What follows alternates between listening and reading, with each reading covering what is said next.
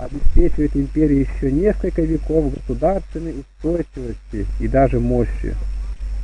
Этот восточный период длится, пока Византия способна одна уравновешивать напор Азии. К нему относятся времена Исаврийской и Македонской династии.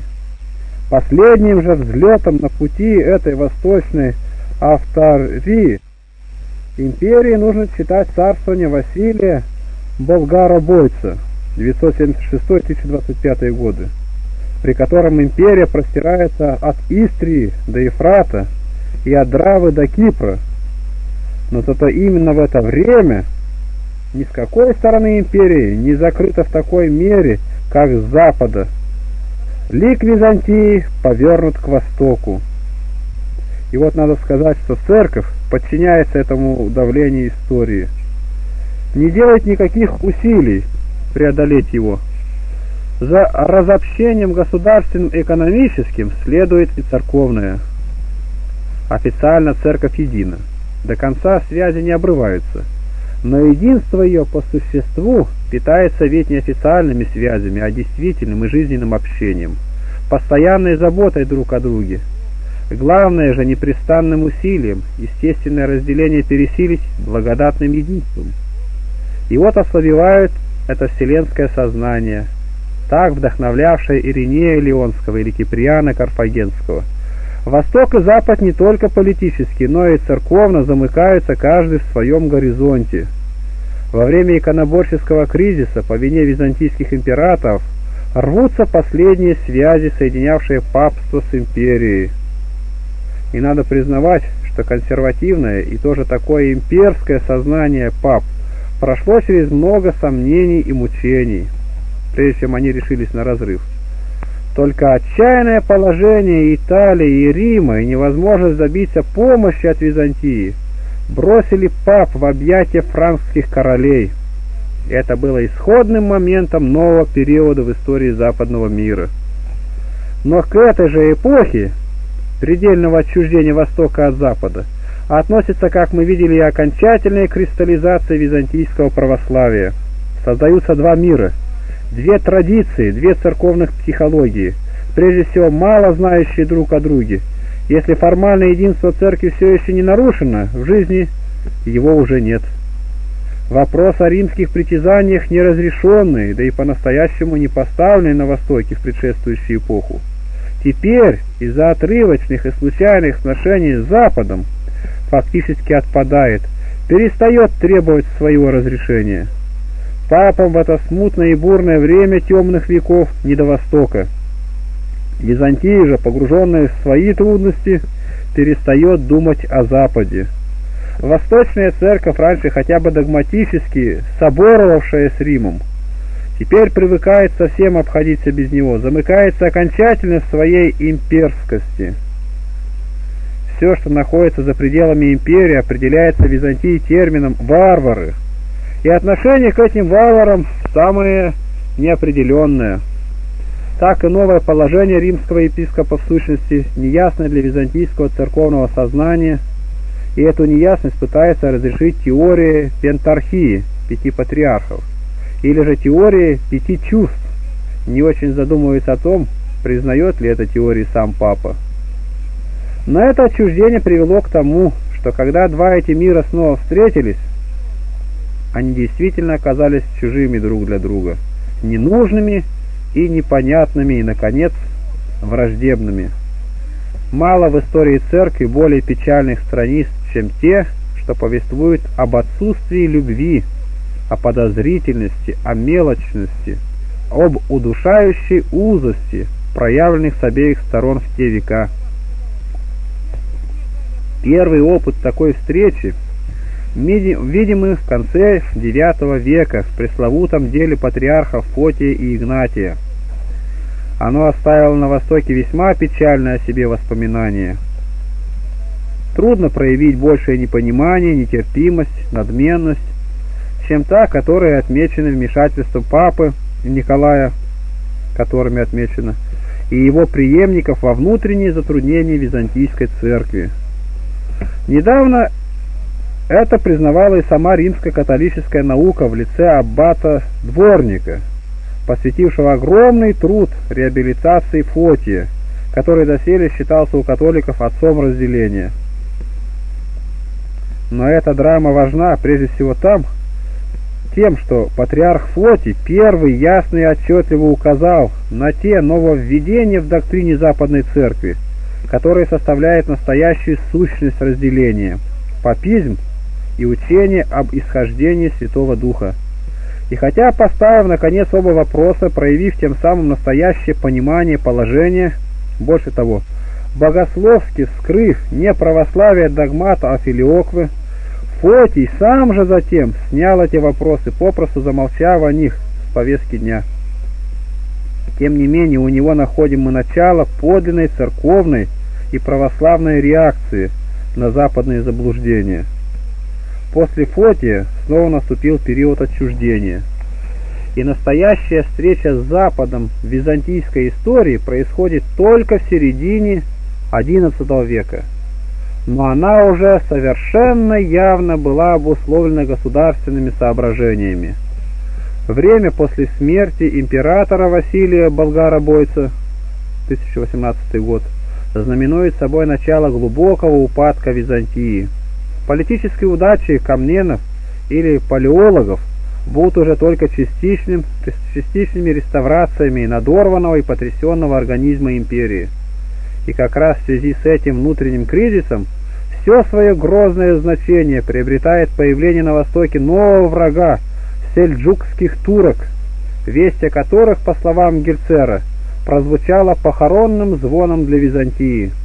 Ослабевшая изнутри, империя уже не в состоянии была одна удержать восточную волну, равновесие сил, достигнутое раньше, стало рушиться. Историческая обстановка снова повернула византийскую политику к поискам помощи с запада. В это же время появление норманнов заставило и римского папу обратить свои взоры к Византии.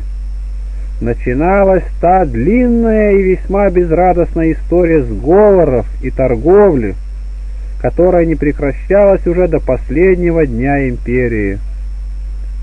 Мы не можем входить здесь в подробности – но и сказанного достаточно, чтобы показать, что то событие, с которого обычно начинают разделение церквей, разрыв 1054 года, нужно толковать в контексте всей этой политической ситуации. Это была встреча церквей по необходимости.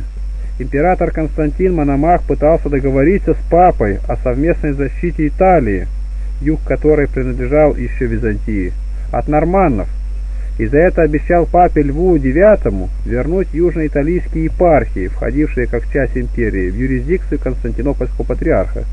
Договор этот скрывался от патриарха Михаила Керулария, но тот узнал о нем. Керуларий – одно из ярких исключений в длинном ряде византийских патриархов. Став монахом по неволе, он участвовал в провалившемся политическом заговоре, причем сам, в случае удачи, выдвигался на царский престол. Он всей душой отдался служению церкви, но в это служение внес свой государственный властный темперамент. В его лице на короткий момент весы симфонии как будто перевесились в сторону церкви, если бы в ней господствовала другая психология. Керуларий решил показать слабому и нерешительному Константину Мономаху всю независимость и силу своего положения – по его поручению один из видных византийских иерархов, Лев Ахридский, написал сочинение против латинских обрядов. Важно подчеркнуть, что в момент окончательного разрыва предметом спора и полемики оказались вопросы, не разделяющие по-настоящему церкви, о папстве и Святом Духе, а обрядовые, отличие Западной Церкви от Восточной, о пресноке, пост субботу, пение Аллилуйя на Пасху и тому подобное. Здесь сказалось сужение вселенского кругозора Церкви второстепенное, внешнее, обрядовое заслонило собой истину. Как это ни звучит парадоксально, но разделились церкви в XI веке не из-за того, что действительно разделяло и разделяет их до сих пор. Давно уже отпали почти все византийские аргументы против латинских обрядов, и остались только подлинно догматические отступления Рима от православия. Но вот об этих-то отступлениях и не было ничего сказано в годы, когда рвались последние связи. Но, конечно, За этой обрядовой полемикой Керуларий скрывал защиту Восточной Церкви от навязываемой ему императором капитуляции перед Римом. В Риме это так и поняли. Лев IX ответил до крайности заостренным исповеданием папизма. Никто не может отрицать того, что как крюком управляется вся дверь, так Петром и его преемниками определяется порядок и устройство всей церкви. И как крюк водит и отводит дверь, сам оставаясь неподвижно, так и Петр и его преемники имеют право свободно произносить суд о всякой церкви, и никто отнюдь не должен смущать воли и колебать их состояние, ибо Верховная Кафедра не судится ни от кого. В доказательство своей особой власти папа ссылался и на так называемый дар Константина, документ, согласно которому, будто бы первый христианский император навеки подарил Рим папам. Подложность всего не требует доказательств. А в завершении папа рисовал церковь Константинопольскую как церковь заблуждающуюся, грешную, скандальную. Ею управляли даже женщины, которую лишь по снисхождению, а не по заслугам римская церковь-мать удостоила второго места после себя. Такая система воззрения исключала, конечно, единение церквей. Можно упрекать греков в мелочности, в отсутствии любви, в утере вселенского сознания, но все же это не может еще разделить церкви по существу. Папизм же сам отлучает от себя всех несогласных с его духовной монархией, и поэтому, каковы бы ни были грехи тогдашних восточных иерархов, конечно, не они, а именно папство есть настоящая причина разделения церквей. Что бы ни делали греки, папы все равно к тому времени отлучили от себя Восток. Дальнейшая переписка уже не могла ничего изменить в нараставших событиях. Летом 1054 года в Константинополь прибыли папские легаты кардинал Гумберт, епископ Петр Амальфи-Самский и диакон кардинал Фридлих Лотарингский, будущий папа Стефан IX. Все деятели той реформы папства, которая подготовит его рассвет при Григории VII Гильсебранде. Император все еще надеялся на политический сговор с папой, принял легатов торжественно и всячески оказывал им покровительство. Так, в угоду им, Никита Стефат, ученик и биограф преподобного Симеона Нового Богослова, должен был по приказу императора публично осудить и сжечь свое произведение против латинских новшеств. Но патриарх молча принял от легатов папское послание, не оказав им никакого почета, и в дальнейшем отказался видеться с ними. Пять недель легаты тщетно добивались свидания. Разрыв нарастал. Напрасно ученый антиохийский патриарх из константинопольских клириков Петр в посланиях умолял Михаила и западных иерархов единство церкви поставить выше обрядов. Его пафос был запоздалым. Он не видел, что папство на деле уже разделило церковь. Наконец, потеряв терпение, легаты решились на демонстрацию против патриарха. 16 июля 1054 года утром, когда народ собирался в Святой Софии к литургии, они вошли в алтарь и положили на престол отлучительную грамоту на Керулария и на его единомышленников. Посему мы, не вынеся неслыханного пренебрежения обиды для святого первого апостольского престола, и всемерно стараясь поддержать кафолическую веру, власть святой нераздельной Троицы апостольского престола, легацию которого исполняем, подписываем анафему Михаилу и его последователям, если не покаяться. Но легаты переоценили силу императора. Они думали, что этим актом добьются его решительной поддержки против Керулария. Они не знали мощи патриарха. В столице начал нарастать народный бунт. Императору пришлось думать уже о своем собственном спасении. Он капитулировал. Было официально заявлено, что греческие переводчики извратили смысл латинской грамоты, и она была торжественно сожжена. 20 июля собор под председательством Керулария и в составе двух архиепископов, 12 митрополитов и 7 епископов в свою очередь торжественно отлучили виновников выступления 16 июля. А окружное послание патриарха довело об этом до сведения всей восточной иерархии. Так совершилась одна из величайших драм истории Восточной Церкви. Но разрыв 1054 года был только началом разделения церквей. Сначала он и переживался скорее как один из тех временных разрывов между двумя кафедрами, каких много бывало и раньше. Церковные связи не всюду и не везде были сразу порваны. По-настоящему разрыв этот вырос в окончательное разделение, в расово-религиозную ненависть только в следующую эпоху. И здесь роковую роль сыграли крестовые походы.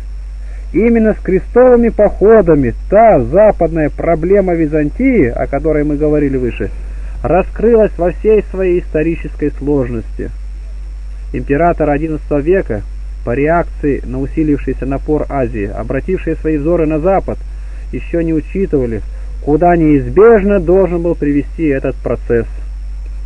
Но уже в самых причинах этого обращения Византии к Западу заложена была и вся двойственность новых отношений с ним. Звать его себе на помощь значило ведь открыть ему свою слабость, ввести его во все свои затруднения. В Византии же не отдавали себе отчета в том, что Запад, к которому они теперь обращались, давно вышел из состояния анархии и раздробления. Византия проглядела рождение нового мира, сильного своей молодостью и еще не использованной энергией, которая должна была излиться при первой возможности. Крестовые походы оказались для Запада выходом для избытка накопившихся сил, первой экспансией средневековой Европы. И вот Запад, мыслившийся Византией как временная поддержка против Востока, сразу же приобрел в ее судьбе самостоятельное и чрезвычайно грозное значение. Слишком хорошо известно, чем кончился четвертый крестовый поход в 1204 году, взятием Константинополя, варварским его разграблением, кощунством над православными святынями 60-летней Латинской империи на Востоке. Но это только вершина, только самое эффектное из проявлений ненависти, которыми наполнена эта продолжительная встреча двух разделенных половин христианского мира. Тогда разделение церквей перестало быть спором иерархов и спором богословским, чтобы уже на века войти в кровь и плоть церковного народа, сделаться постоянным аффектом церковного сознания. Латинство на Востоке, греки на Западе – стали синонимом зла, вражды, ругательным словом. Встречались теперь уже не иерархи, а народные массы, и в их психологии разделение превратилось в стихийную ненависть, в которой верность своей вере, обида за поругание, за поругание своих святынь смешивалась с элементарным отталкиванием от всего чужого, без различия в нем хорошего от плохого. Ужас разделения церквей в том, что на протяжении веков мы не встречаем почти ни одного проявления страдания от разделения, тоски по единству, сознания ненормальности, греха, ужаса этого раскола в христианстве. В нем доминирует не сознание невозможности единство предпочесть истине, единство отделить от истины. Грех стольких современных проповедников единства психологически, обратная крайность, сколько почти удовлетворения разделением, желание найти все больше и больше темных сторон в противоположном лагере. Это эпоха разделения церквей не только в смысле их фактической разделенности, но и в смысле постоянного углубления и расширения этого рва в сознании церковного общества. И именно эта психология наполняет такой нетерпимой ложью те униуальные понятия, попытки, что красной нитью тянутся от первого крестового похода, то есть с конца XI века до самого падения империи. Причина их вечного возобновления слишком ясна. На Западе это теократическое стремление папства, достигшего максимальной мощи при Григории VII, безоговорочно подчинить себе весь христианский мир. Если угодно это, своеобразная жажда единства церкви – только очень далеко ушедшая от того единства, которое вдохновляло раннюю церковь. Если в ранней церкви единство мыслилось прежде всего как единство веры, любви и жизни, то для Запада теперь вся проблема единства сводится к одному пункту – к подчинению Риму, к внешнему признанию его абсолютного примата. На всякую просьбу Византии о помощи Рим отвечает «признайте власть папы, и весь западный мир станет вашим союзником. Но как раз потому, что Рим окончательно стал бесспорным духовным центром Запада, всякий раз, что Византия задыхается от все теснее сжимающих ее объятий ислама, ей некуда обратиться, кроме Рима. И вот тянется эта позорная цепь никогда не заканчивающихся переговоров, споров, обещаний, лжи, в которой есть все, но нет главного – желания единства, тоски по подлинному исполнению Церкви Христовой. Перечислять эти понятия здесь невозможно. Скажем только, что в Византии они были почти исключительно вопросом политическим – и церковь фактически отвергла их все, несмотря на давление императора. Больше, чем в чем-либо другом, эта униональная тема показала, что император Византии не может всего. Михаил VIII Палеолог, несмотря на сопротивление церкви, через подставных лиц, подписавший Леонскую унию 1274 года, умер отлученным и был лишен церковного погребения. Заметим, что в самой Византии, начиная с XIII века, возникает течение так называемых латинофонов, то есть сторонников унии и приверженцев западного церковного учения. В высших кругах можно проследить даже своеобразную моду на ромофильство. Но подобно увлечениям католичеством иных русских аристократов XIX веке, византийское латинофонство – не есть движение внутри православной церкви, а попросту обращение некоторых православных в католичество, и потому ничего не меняет в другом отвержении унии, всем, в дружном отвержении унии всем православным Востоком, в сознании самой православной церкви. Правда, эта униальная серия кончается для византийской церкви духовной катастрофой, Флорентийским собором 1438-39 годах, который завершается поголовным подписанием греческими верхами и иерархами, полной капитуляцией перед Римом. Но нужно прочитать деяния этого неблагословенного собора. Нужно пережить все терзания греков, истерзанных страхом гибели империи, затравленных денежным давлением со стороны латинян. У самих у них не было денег, чтобы вернуться на родину психологическим давлением императора и интригами латинофонов, решивших любой ценой добиться унии. Нужно знать все это, чтобы, если не оправдать, то во всяком случае по-человечески понять малодушное падение их во Флоренции. И недавнее, в 1939 году, празднование католиками юбилея Флорентийской унии – свидетельствует все о том же глубоком непонимании ими настоящего церковного сознания православной церкви. Его лучше понимал папа Евгений IV, который на радостное сообщение своих епископов о том, что все греки подписали унию, спросил, а Марк Ефеский подписал? И на отрицательный ответ по преданию ответил, ну, значит, мы ничего не сделали.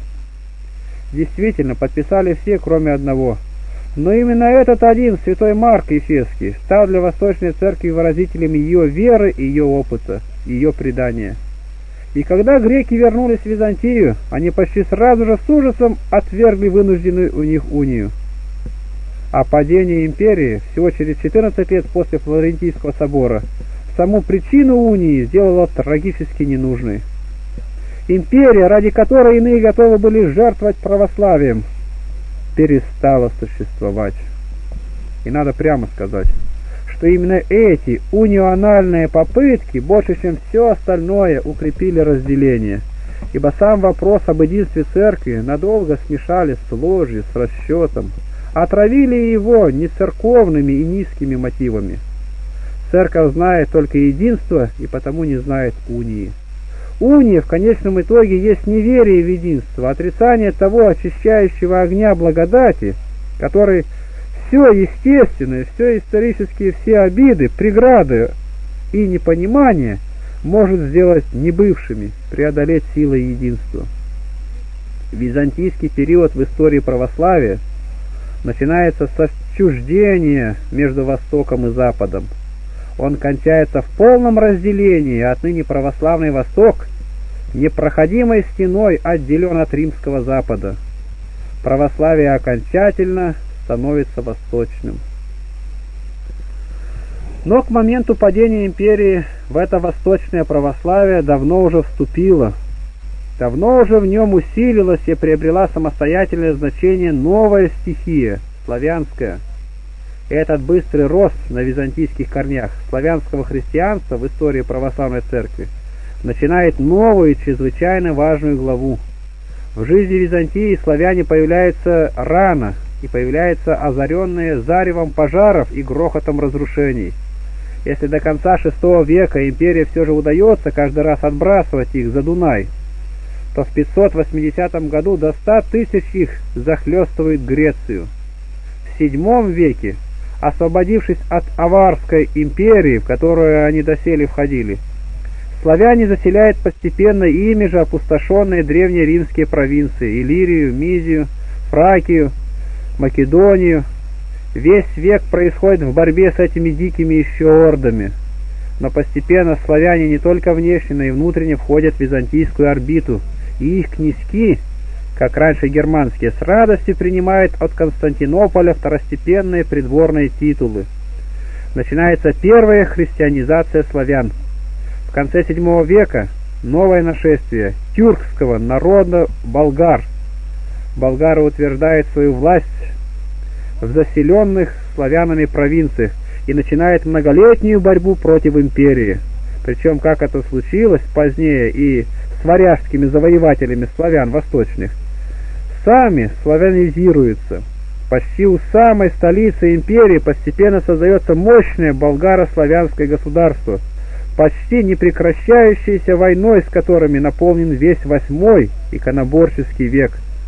И неизвестно, как разрешилась бы для Византии эта новая и грозная славянская проблема, если бы во второй половине IX века не произошло бы того события, которое и составляет подлинное начало славянской главы в истории православия, перевода христианства на славянский язык святыми византийскими братьями Константином, который в монашестве получит имя Кирилла и Мефодием славянских первоучителях, о славянских существует огромная литература.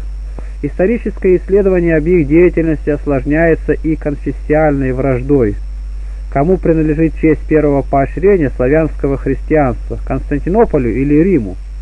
Кто поддержал первые шаги братьев? Об этих вопросах ведутся споры, но решение их неважно по сравнению с тем огромным значением, какое имело Кирилло-Мефодиевское наследство – судьбах именно Восточной Церкви. Для нас же только оно и важно сейчас. Кирилл и Мефодий принадлежали к той умственной элите Византии, которая во второй половине IX века сгруппировалась в Константинополе вокруг патриарха Фотия. Константин был философом, ученым, лингвистом. Ему поручались ответственные миссии к арабам и хазарам в Южной Приднепровской России. Оба брата родом из Салуни, города, в то время населенного в большом количестве славянами.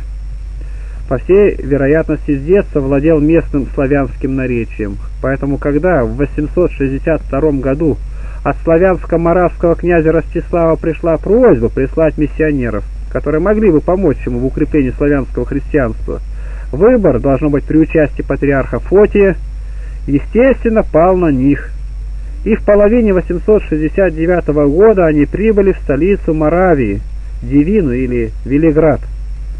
Надо сказать, что мотивы, толкнувшие Ростислава призвать христианских византийских миссионеров, были не только религиозного, но и политического свойства.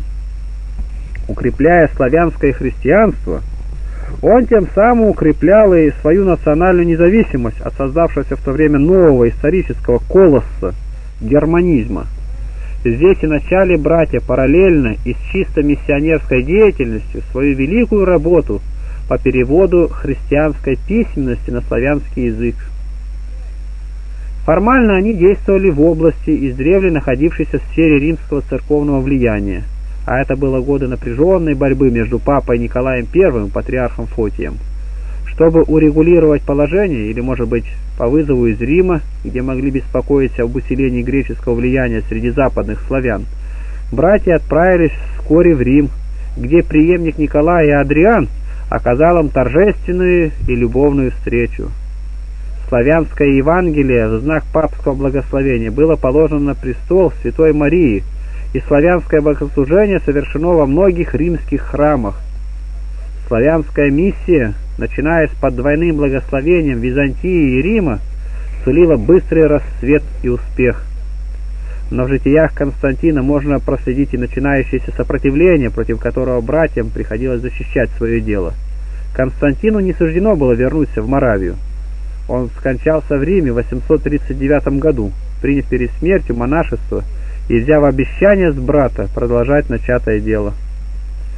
Но и Мефодий не смог вернуться на прежние места. Во время пребывания братьев в Риме усилилось германское давление на Моравию, и с 870 года она фактически стала частью Западной империи. Мефодий остановился южнее, у паннонского князя Кацелла, разделявшего взгляды Ростислава об укреплении славянского христианства для защиты от германизма. Здесь, по всей вероятности, он и ввел впервые славянскую литургию, и это стало причиной многих скорбей в его жизни.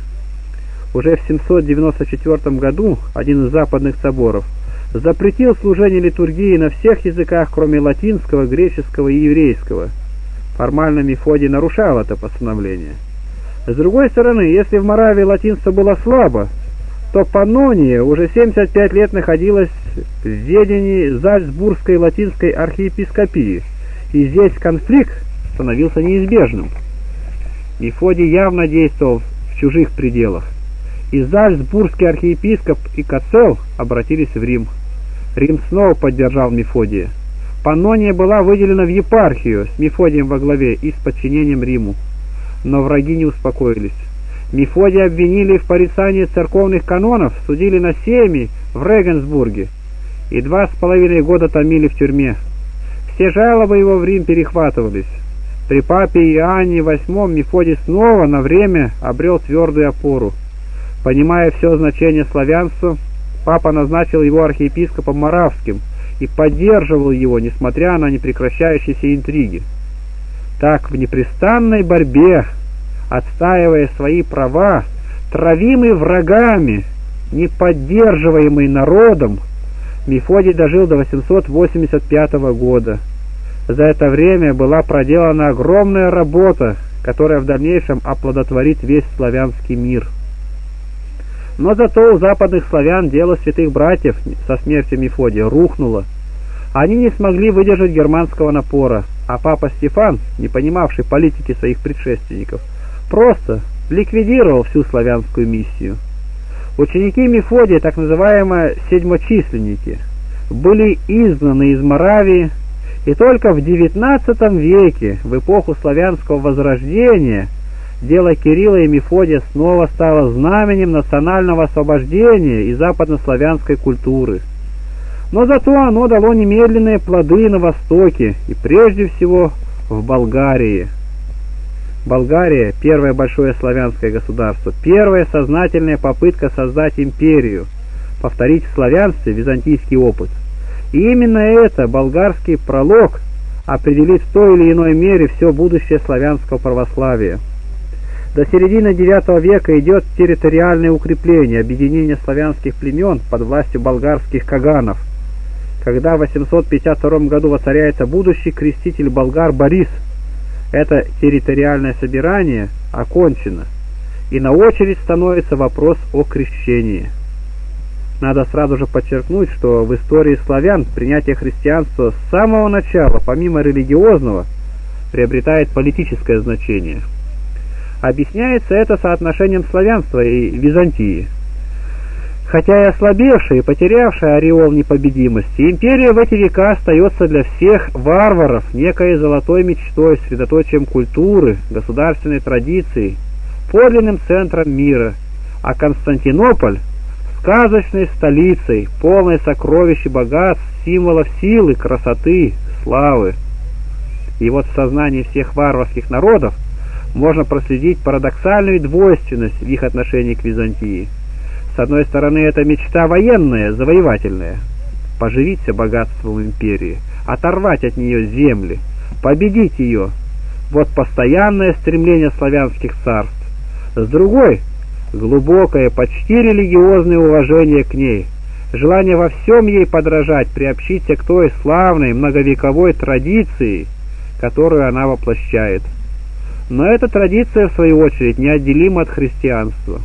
Только принятие христианства может варваров приобщить к культуре, включить их в великие семьи рода человеческого – и потому крещение становится как бы неизбежным этапом политического, государственного роста славянства, признаком его исторического совершеннолетия. Христианство существовало в Болгарии, конечно, и до Бориса, это была издревле крещенная имперская земля.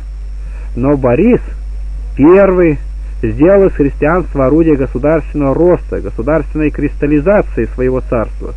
Короче говоря, пересадил в сознание славян ту христианскую теократию, которая до обращения Константина жила в Византии. Политический расчет в деятельности Бориса виден еще и в том, что он долго колебался, откуда принять крещение, от Византии или от Рима. Ему приходилось считаться со своим окружением, с той дружиной, которая, естественно, больше всего была связана с национально-языческой традицией.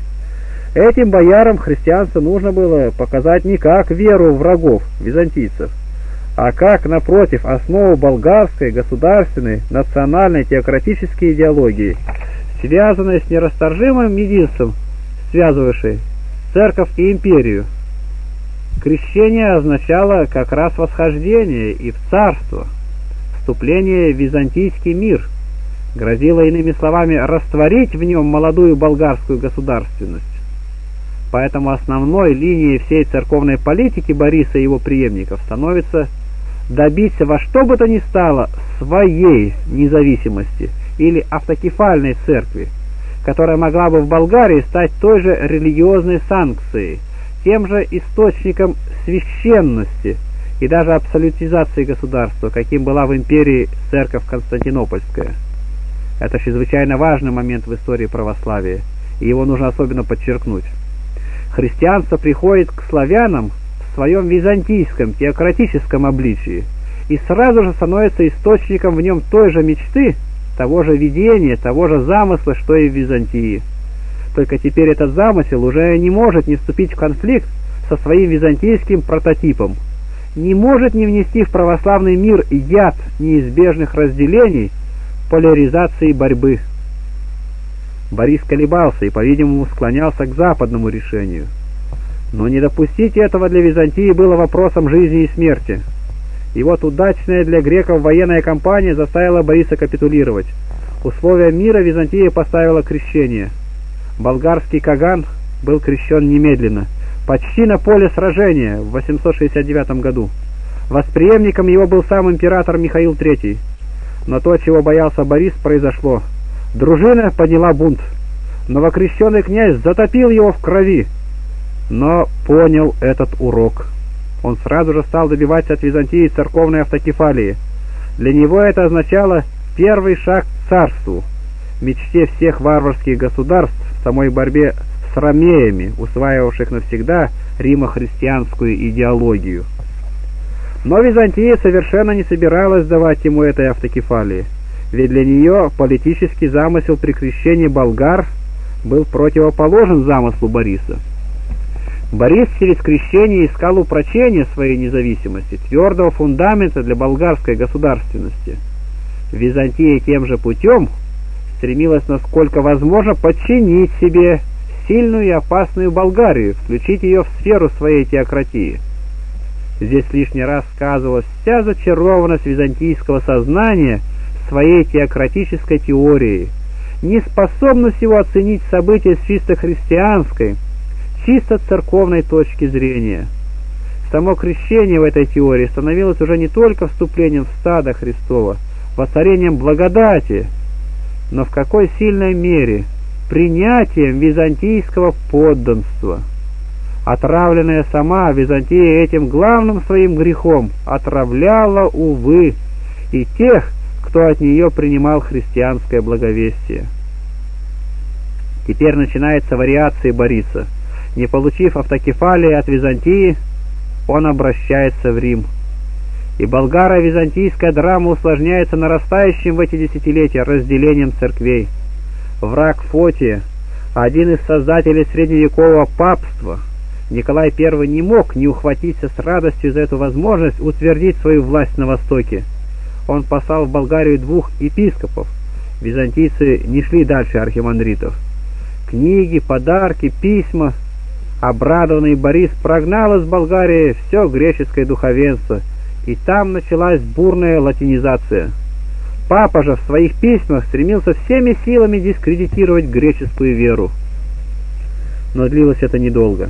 Борис хотел патриарха и автокефалию. А к этому папство было меньше склонно, чем Византия. В то время на самом Западе уничтожались последние следы независимости древних церквей. И так же решительно, как он порвал с Византией, Борис порвал с Римом и снова обратился в Константинополь. Наученные горьким опытом, византийцы принуждены были теперь согласиться на полуавтономную болгарскую архиепископию. Что они сделали это по необходимости из экономии, не отрекаясь на деле ни на йоту в своем понимании церковной монополии Византии. Это покажет вся дальнейшая трагическая история болгаро-византийских отношений. Но на первых порах это успокоило Бориса, дало ему возможность заняться укреплением своего, теперь уже христианского царства. И вся эта политическая окраска не должна закрывать от нас положительного значения дела Бориса. Прежде всего, огромное значение по своим последствиям имело принятие в Болгарии Кирилла Мефодиевского наследия. Изгнанные из Моравии седьмочисленники пришли в Болгарию и здесь с почетом были приняты Борисом. Умный Каган не мог не понимать значения славянского богослужения для своей мечты о славянской империи с независимой церковью, как ее религиозной опорой. Чтобы избежать сопротивления греческой иерархии, он отправил Климента, главу седьмочисленников, в западную часть своего царства, в Ахридскую область, где дело Кирилла и Мефодия и нашло свою первую плодородную почву. Святой Климен Ахридский своим светлым образом освещает начало славянского христианства. Не ограничиваясь одним религиозным просвещением, он старается всячески улучшить и экономические условия жизни своей отсталой паствы улучшить. Здесь же были созданы многочисленные кадры славянского духовенства, накоплена христианская православная славянская письменность. Здесь начало православной славянской культуры. Образ самого Бориса не исчерпывается его политическими расчетами и мечтаниями. Чем дальше шло время, тем сильнее политический интерес сменялся в нем уже чисто религиозным. Христианство действительно прорастало в его душе, если он не бросил своего дела, не переменил своих теорий.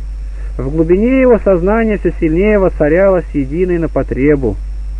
Западный летописец говорит, что днем он являлся перед народом, одетый в царские одежды, а ночи проводил в молитве. И вот, процарствовав 36 лет, он в 888 году отрекся от престола и, передав его сыну, ушел в монастырь. Государственные беспорядки призвали его еще раз к власти. Но, восстановив порядок, передав царство внуку Симеону, он окончательно ушел в молитвенную жизнь. Симеоном 892-927 годы Болгария достигла своего апогея. Сам Симеон воспитался в Византии, где изучал риторику Демосфена и силлогизм Аристотеля. Его на всю жизнь пленила красота и величие византийского двора, подобие которого он создал в своей новой столице, при Славле Великом. Но это не заставило его забыть Болгарии, и напротив. До пароксизма заострила мечту Бориса – не наступило ли время Болгарии заступить место дряхлой империи, стать наследницей христианской теократии, болгарскому же Кагану, увенчать свою голову священной диадемой византийского Василевса? Так византийская теократия, формируя варваров, давала им оружие против самой себя, указывая им программу. Их целью, пределом их желаний становится святая София – небо на земле, единственное сердце христианской вселенной. С Симеоном открывается эпоха славянских конкурентов на титул православного царства, ревниво и монопольно хранившийся греками. Почти все царствование Симеона прошло под знаком войны с Византией, первой большой междуусобной войны в православном мире. Болгарские войска стояли под Константинополем, но для империи еще не наступило время уступить свое первородство. Не победив Византию, Симеон, как и дед, обратился в Рим и оттуда получил титул царя для себя, титул патриарха для своего епископа. Правда, это было чистой фикцией. Никакого подчинения Риму мы не видим в это время в Болгарии. Но эта фикция красноречиво указывает на силу теократической мечты, владевшей сознанием Симеона. Главное же значение Симеоновой Болгарии в том, что его время – золотой век в истории церковно-славянской письменности, подлинный рассвет славянско-христианской культуры. На ее создание не жалел Симеон никаких средств, строил школы, библиотеки, собирал целые армии переводчиков. Созданный при нем запас церковно-славянской письменности оказался достаточным для нужд не только Болгарии, но позднее для церквей сербской и русской. Конечно, вся эта культура не была, да и не могла быть оригинальной. Сам Симеон был византийским выучеником, и дело Кирилла и Мефодия также питалось византийским соком, византийскими соками. Да и в своей государственной мечте Болгария повторяла и усваивала византийский опыт. Один из историков правильно назвал культурный рассвет при Симеоне эллинизацией Болгарии. Так славянская стихия оформлялась эллинизмом. Так рождался славянский византизм. На первом месте в этой культурной работе стояли переводы византийских писателей, отцов церкви, историков, гимнографов. Сам Климент Ахридский написал по византийским образцам житие святого Мефодия и перевел множество богослужебных текстов, литий, творений отцов. Зависимость от Византии сказалась и в том, что глаголица, то есть славянская азбука, изобретенная Кириллом, заменена была кириллицей, более похожей на греческую. Молодое болгарское царство получило как бы энциклопедию современной византийской культуры. И это навсегда определило развитие славянского христианства. Независимое политически и даже церковно от Византии, Симеоновская Болгария глубоко пропиталась византизмом. Сам болгарский язык, воцерковляясь, становясь церковнославянским, оказался почти сколком с греческого – Болгария, славянская по языку, византийская по духу, стала проводником византизма среди других славян, сербов и особенно русских. Со смертью Симеона начинается упадок первого болгарского царства. В X веке снова возрождается военная мощь Византии. Это эпоха византийской эпопеи. Восстановление ее во всей своей силе и славе, и это восстановление неизбежно оборачивается борьбой с ненавистным болгарским конкурентом.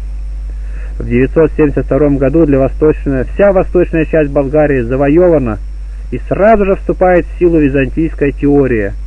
Патриарх Дамиан не изводится, а все болгарские епархи попросту переводятся в подчинение Константинополю. Западная македоно-албанская часть Болгарии с центром в Ахриде продержится до 1018 года продержится вместе с ней автокефальная болгарская церковь. Но когда после тридцатилетней войны между Василием II, болгаробойцей, и знаменитым в болгарских преданиях царем Самуилом, болгарская независимость будет уничтожена, ее судьбу разделит и церковь. Страшно подумать, читая сказания об этой войне, небывалой пожесточения и свирепости, в которой благочестивый византийский автократор приказывает выколоть глаза 15 тысячам пленников и затем послать их обратно к старику Самуилу, что это война православных, и что ее вдохновляет, питает все та же теократия. Это страшная неизбывная ложь Византии и всего Константиновского периода. Победив, уничтожив врага, Василий проявит правда великодушие – Болгарские бояре получат видимость автокефалии, но уже в другом, византийском смысле. На деле Болгария почти на два века будет подвергнута насильственному огречиванию, а дух отношения греков к болгарам можно уловить в писании греческих пастырей о своем болгарском стаде. Он пахнет гнилью, как болгарин пахнет бараном, пишет про кого-то Феофилак Болгарский, знаменитый византийский патриарх II века, богослов и знаток Гомера, и для него болгарская натура – мать всех зол. Болгарское царство воскресает еще с новой силой в самом конце XII века, когда снова ослабеет Византия. Это так называемое Тырновское царство, связанное с именем братьев Осений, борцов за национальную независимость. Его история также начинается с уже испробованной римской карты. Не признает Византия, признает Рим. Главное же добиться царства и его условия автокефальной патриархии. Ионикий Калаян 1197-1207 годы, младший брат Осиней, обращается к папе Иннокентию III, величайшему из всех средневековых пап, при котором теория о возглавлении папой всех христианских народов достигает своего апогея. И в тот момент, когда православная Византия падает под ударом крестоносцев в 1204 году, Калаян венчается римским кардиналом, царем болгаров и валахов. Но это не помешает ему воевать с латинскими господами Константинополя, взять в плен императора Будуэна и, несмотря на все ходатайства папы, довести его до смерти. Единство христианских народов все очевиднее превращается в трагическую пародию. А затем ориентация снова меняется. Иоанн Арсен II, 1218-1241 годы вступает в православную коалицию с греческим императором Никеи. Получает за это уже и греческое признание Терновской автокефалии. И снова это признание по необходимости, от которого греки при первой же возможности отрекаются. И так продолжается до самого конца, до уничтожения болгарского царства турками в конце XIV века. Разрывы и связи, союзы и войны но уже ничто не может решить спора силою. Православная империя близится к концу, но даже близость конца ничего не может изменить в их страстной мечте. Во Христе Боге верный царь и автократор болгар и греков. Вот титул последних болгарских царей. Пускай номинально, но они ощущают себя носителями единой теократической традиции. Это время ее последнего торжества в православном сознании – ее распада в жизни. И здесь, как и в Византии, только в тишине монастырей, только глубоко за этой печальной теократической декорацией растет и зреет подлинная христианская душа, цветут настоящие плоды крещения. Это образ святого Иоанна Рыльского, это малый Афон Софии, это терновские мученики, это ученики и сихастов, и споры о стяжательстве и нестяжательстве – это, наконец, непрекращающийся рост болгарских интересов, отражаемый церковно-славянской письменности. Теократическая мечта болгарского царства погибнет, как и мечта византийская.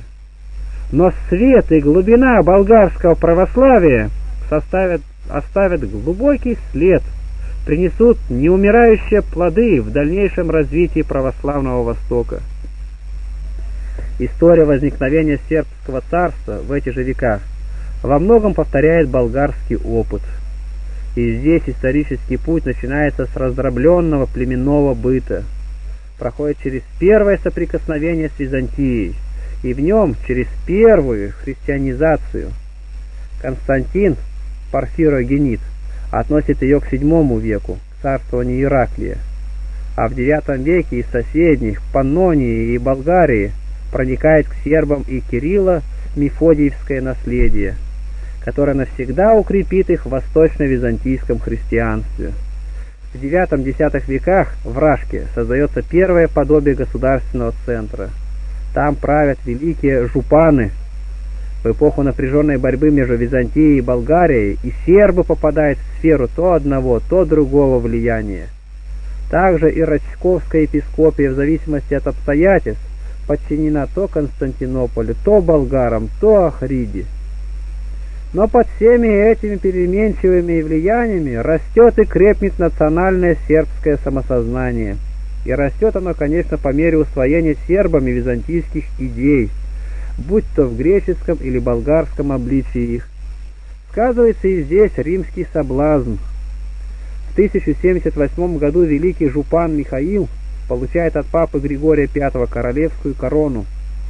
В середине XII века Сербия имеет уже свои все элементы государственности, и для нее наступает время воплощать всю ту же византийскую теократию, вступить в число возможных наследниц Византии. Это и есть дело знаменитого Неманье.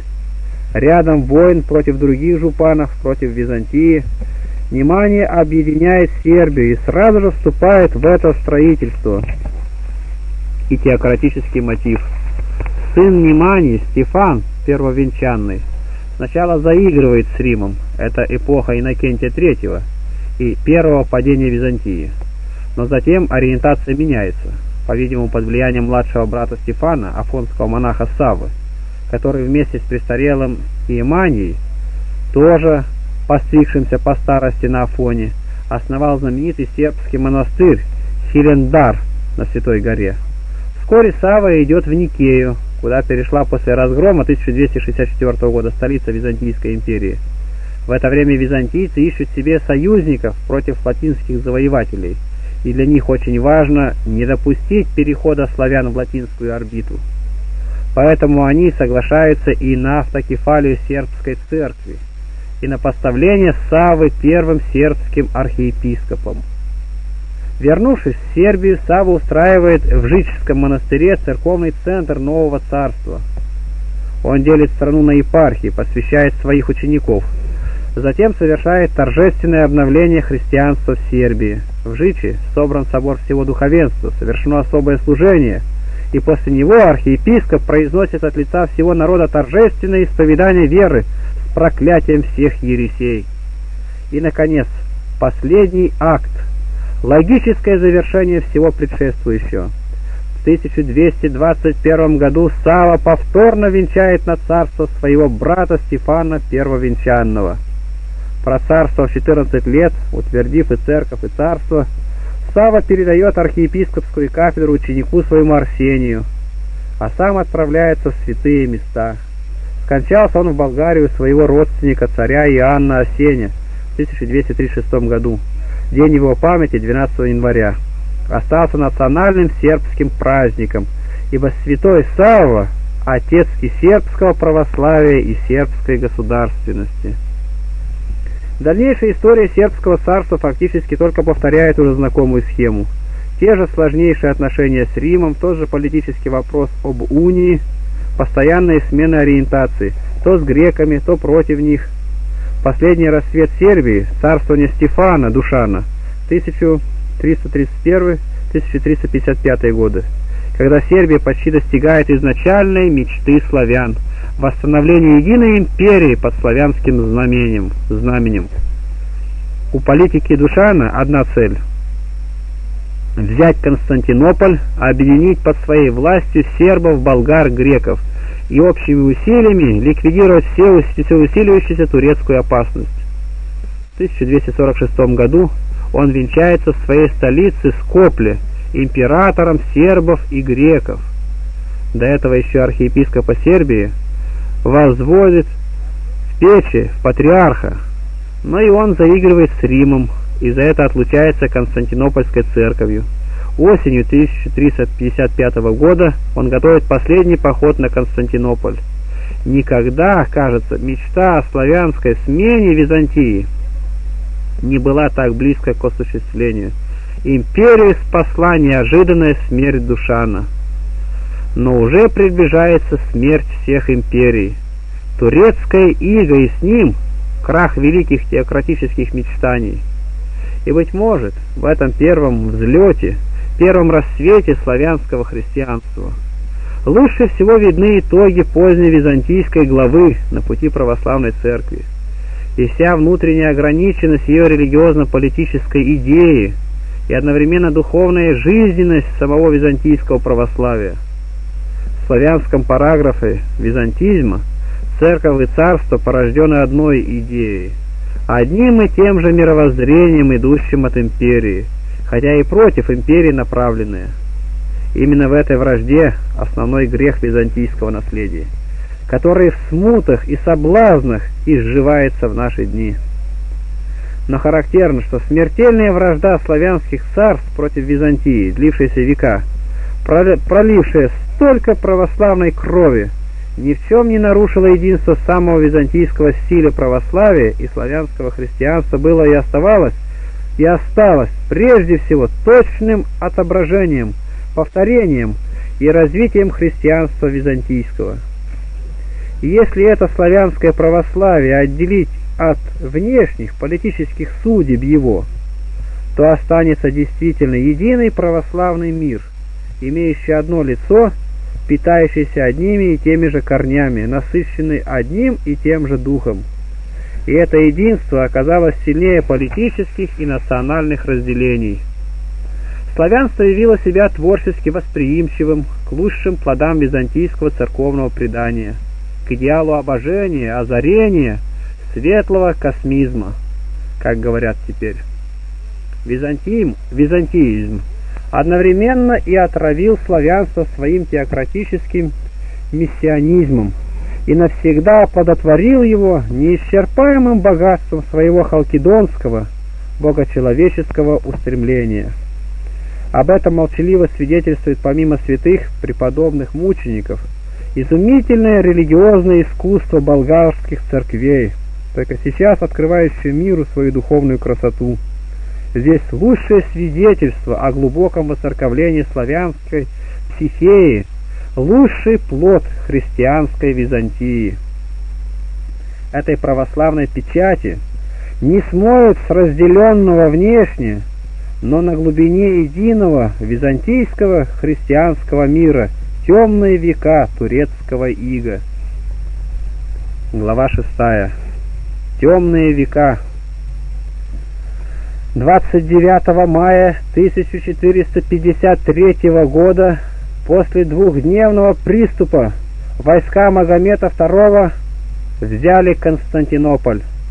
В бою погиб последний император Константин XI. Священный город стал столицей Оттоманской империи. В 1459 году была окончательно завоевана Сербия. До нее пала Болгария в 1459-60 годах. Европейская Греция в 1463 году, Босния, наконец, в 1517 году Египет.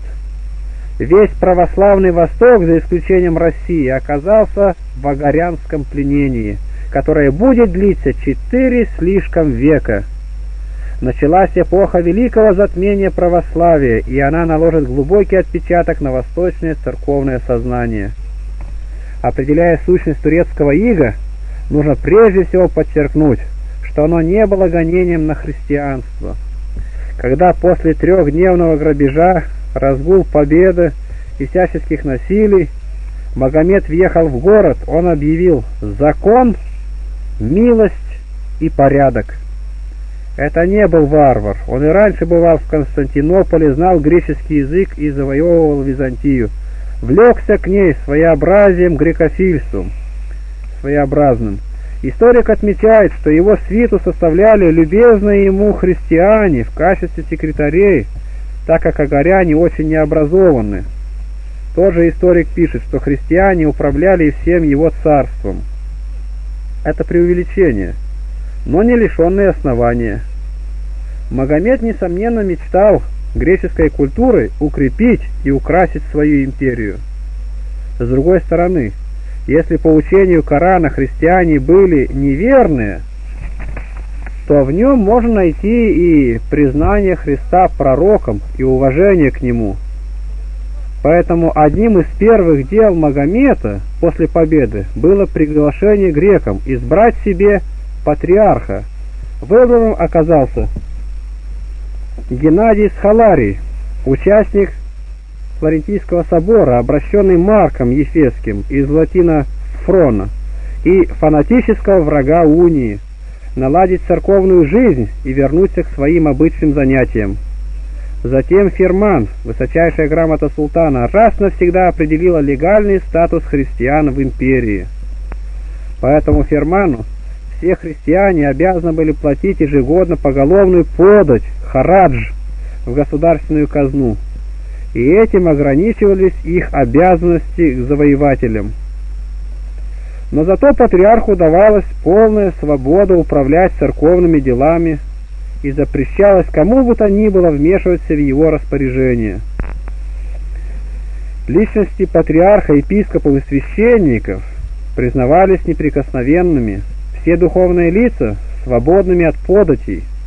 Половина церквей Константинополя обращались в мечети, а другие, другая оставались в пользовании христиан. Во всех делах, касающихся внутреннего церковного управления, каноны сохраняли свою силу.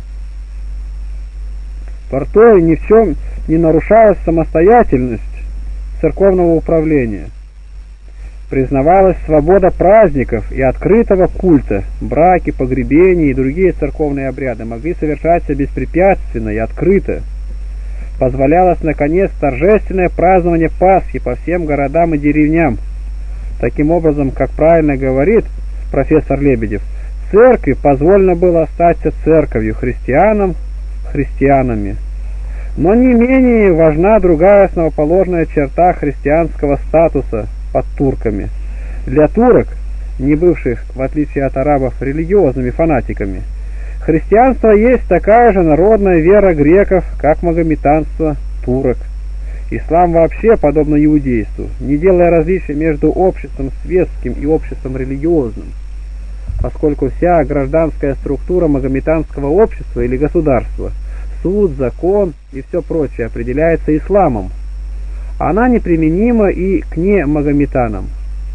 И вот христиане в Оттоманской империи получили права не только религиозного, но и национального меньшинства, причем оба эти понятия оказались слиты воедино. Патриарх стал Милей Башой, то есть главой народа, этнархом, а церковная иерархия получила права гражданского управления над христианским населением. Она судила христиан по греческим законам, ее суд был признан портою, и приговоры приводились в исполнение турецкой властью христиане могли иметь свои школы, свои программы, свою цензуру. Теократически церковь делалась как бы государством в государстве. И мы увидим дальше, какие огромные последствия это имело в судьбах подъеремного православия. Таким образом, формально положение церкви в Турецкой империи могло считаться твердым. Но это только формальная сторона. На деле оно очень часто было ужасным и невозможно описать все страдания, унижения и настоящие гонения, которые пришлось пережить церкви в эти действительно темные века. Объясняется это, во-первых, тем, что те права, о которых мы только что говорили, были совсем не правами в нашем смысле этого слова, а милостью султана. Турецкое сознание было не менее, если не более теократическим, чем сознание римское – в котором абсолютизм власти все же умерялся древней и очень продуманной юридической традицией. Турецкий же султан был источником всех прав, милости, как и немилости, и никому не был обязан отчетом в своих действиях. В религиозной теории ислама христиане были рая, скот, побежденные, неверные, и никаких прав, никакого гражданства им не полагалось иметь. Если бы все султаны были на культурной и государственно-политической высоте Магомета II, его ферман, может быть, и соблюдался бы. Но, увы. Во-первых, уже сам Магомед нарушил его, отняв у патриарха Геннадия им же дарованный им храм 12 апостолов. А во-вторых, очень скоро Оттоманская империя вступила в период государственной деморализации, и в ней воцарился произвол, беспринципность и подкуп. Султаны обирали своих пашей, а те обирали христиан. Жаловаться же было некому. Положение заметно ухудшилось в 17 и 18 веках, самых бесотрадных в церковной истории. Как замечает профессор Карташов, в эту эпоху Турция могла быть сметена любой из европейских держав, но Европа из страха перед Россией поддерживала Турцию и закрывала глаза на вопиющие страдания христиан. В иных местах дело доходило до поголовной резни христиан. Заступалась за них одна Россия, но часто это приводило только к ухудшению их положения. Права патриарха постепенно свелись к нулю, Единственным оставшимся было право ответственности за христиан. И вот в XVIII веке за 73 года сменилось 48 патриархов. Некоторые из них не изводились и снова возводились до пяти раз. Много было и умученных. Бунты янычар сопровождались страшными кровопролитиями. Осквернялись храмы, рубились мощи, профанировались святые дары. Христианские погромы становились все более и более частым явлением. В XIX веке Турция попросту разлагалась. Она была подобна больному человеку, всячески поддерживаемому Европе... Европой против России.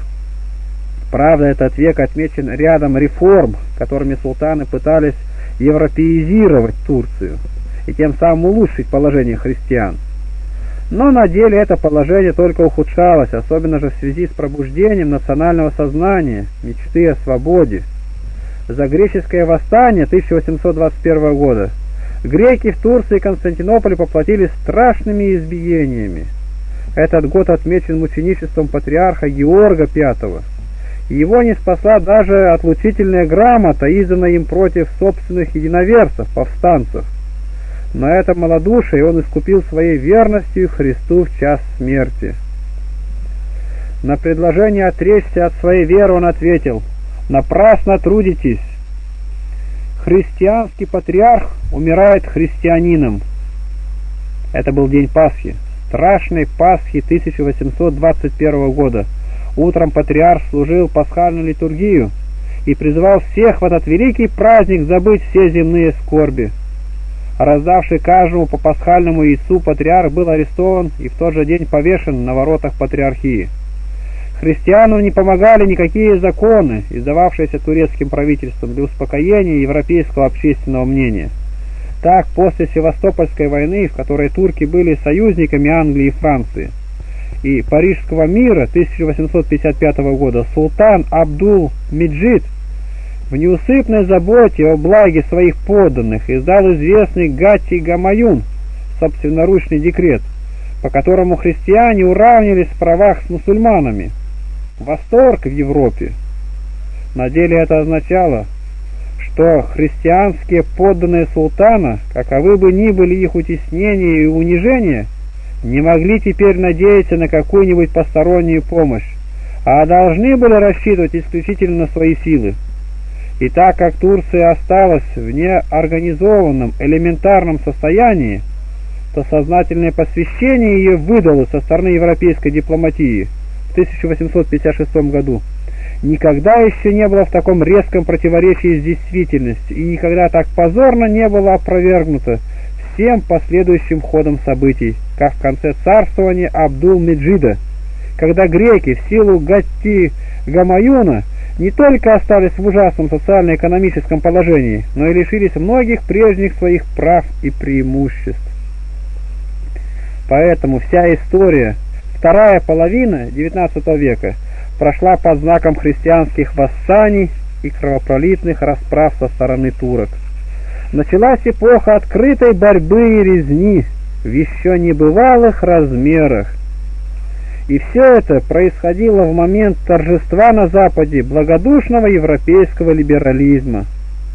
1861 год отмечен восстанием в Боснии и Герцеговине, в Сербии, Валахии, Молдавии, Болгарии. 1866 год на острове Крите.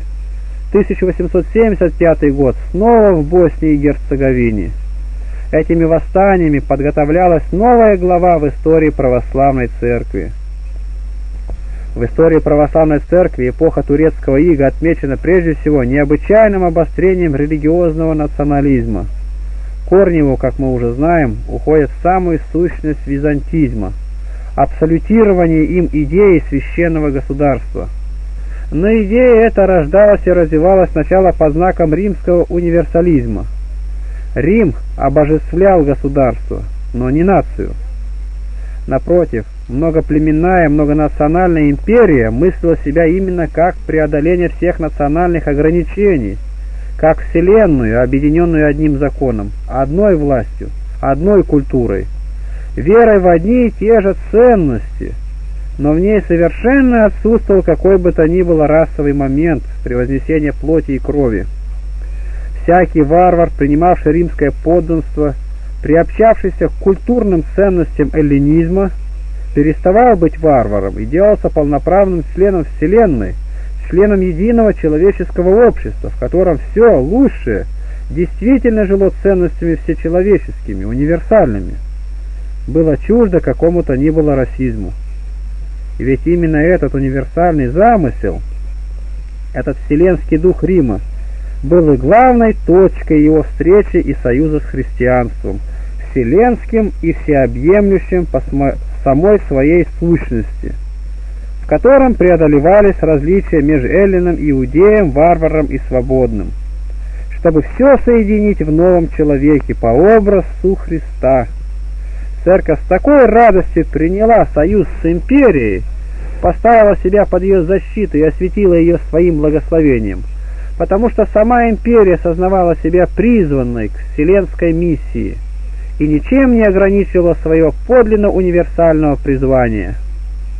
И надо признать, что первое время империя действительно жила этим вдохновением.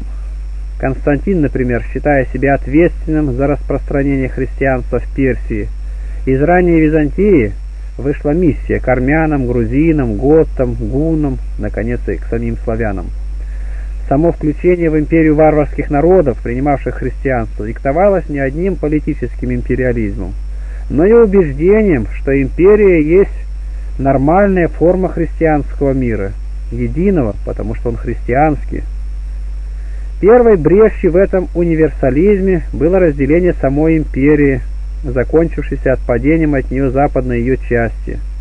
Правда, власть империи, хотя и номинально – но признавалась самими варварами, утвердившимися на Западе, так что византийская теория оставалась непоколебимой, непоколебленной, но уже трагические последствия имело, как мы видели, столкновение с самим этим Западом в эпоху крестовых походов.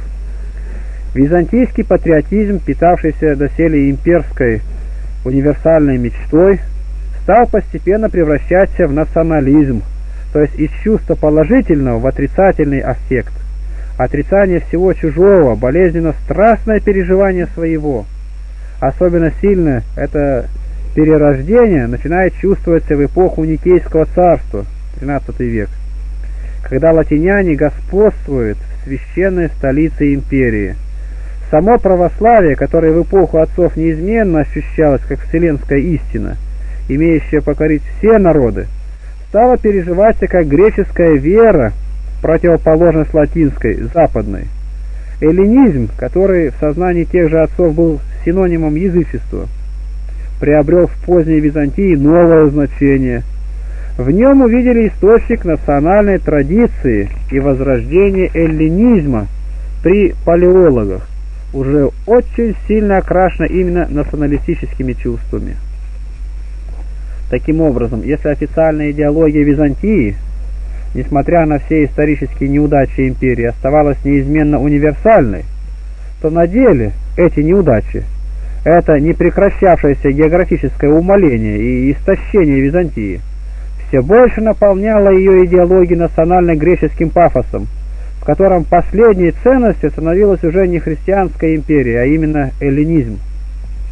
Поэтому в силу своего универсализма, отрицая дробление единой империи до на самостоятельное царство и автокефалии, Византия на практике навязывала славянам ограничивание, огречивание и в самом житейском смысле. Власть греческих архиереев в завоеванной Болгарии, презрительное отношение ко всякой самобытности, даже к языку. А это как раз и делало распад православного мира неизбежным, заставляло славян, как раньше сирийцев и армян, ненавидеть греков. И вот, если к моменту турецкого завоевания распад византийского христианского универсализма был уже совершившимся фактом, то турецкая ига парадоксальным образом восстановила его. Не отделяя, как мы уже говорили, религии от народности, турки и христиане рассматривали прежде всего как народ – рассматривали турки христиан, чем в сущности они и должны были бы быть. Если бы помнили ранние христианские переживания церкви как нового народа и определение христианина как лаика от греческого лаос, народ, то есть члена народа, как одно целое, возглавляемое в качестве этнарха Константинопольским патриархом. Между тем поразительно, что крушение империи, занимавшей такое огромное, такое центральное место в византийском сознании, византийцы переживали сравнительно равнодушно. Из памятников того времени не видно, что они ощущали его как кризис, как крах своей самой заветной мечты. А это, это произошло потому, что в сознании византийцев XV века уже произошла эта внутренняя подмена имперского эллинским.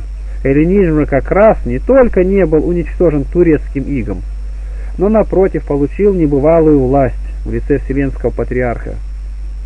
Турецкой неволе сама царская власть как бы переходит к Патриарху. Границы церкви и царства давно уже слились в византийском сознании.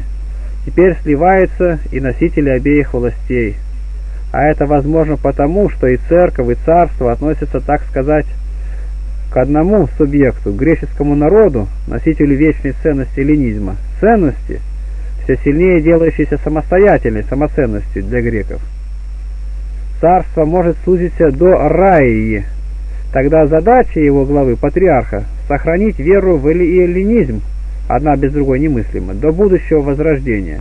Патриарх сел на троне, а архиереи же поклонились ему как своему властелину, как своему царю и патриарху.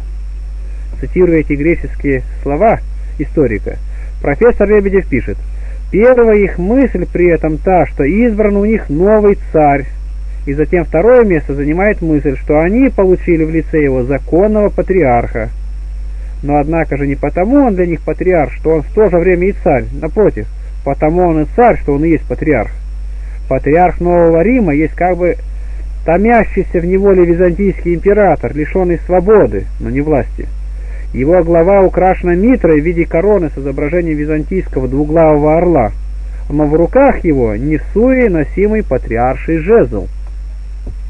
И вот получив эту власть, уже не только церковную, но и народную, подобно которой они не имели и в последние века империи, византийские патриархи сделали все, чтобы окончательно утвердить торжество греков над всеми славянскими автокефалиями, которые им поневоле приходилось признавать раньше.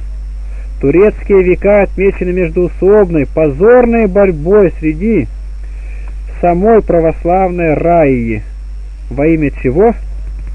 Во имя все того же стихийного страстного национализма, с каждым веком все страшнее удушающим сознание единства Церкви Христовой.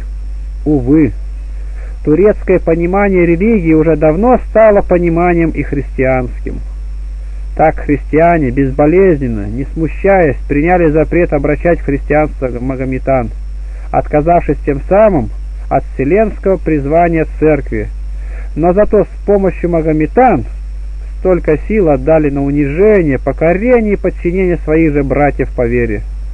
Сами унижаемые, изгоняемые, убиваемые, так часто попросту пешки в руках богатых фонариотов, греков, разбогатевших на турецкой службе, константинопольские патриархи систематически стремятся не только подчинить себе все доселе все автокефальные славянские церкви, но и огречить их, уничтожив саму память об их славянском прошлом.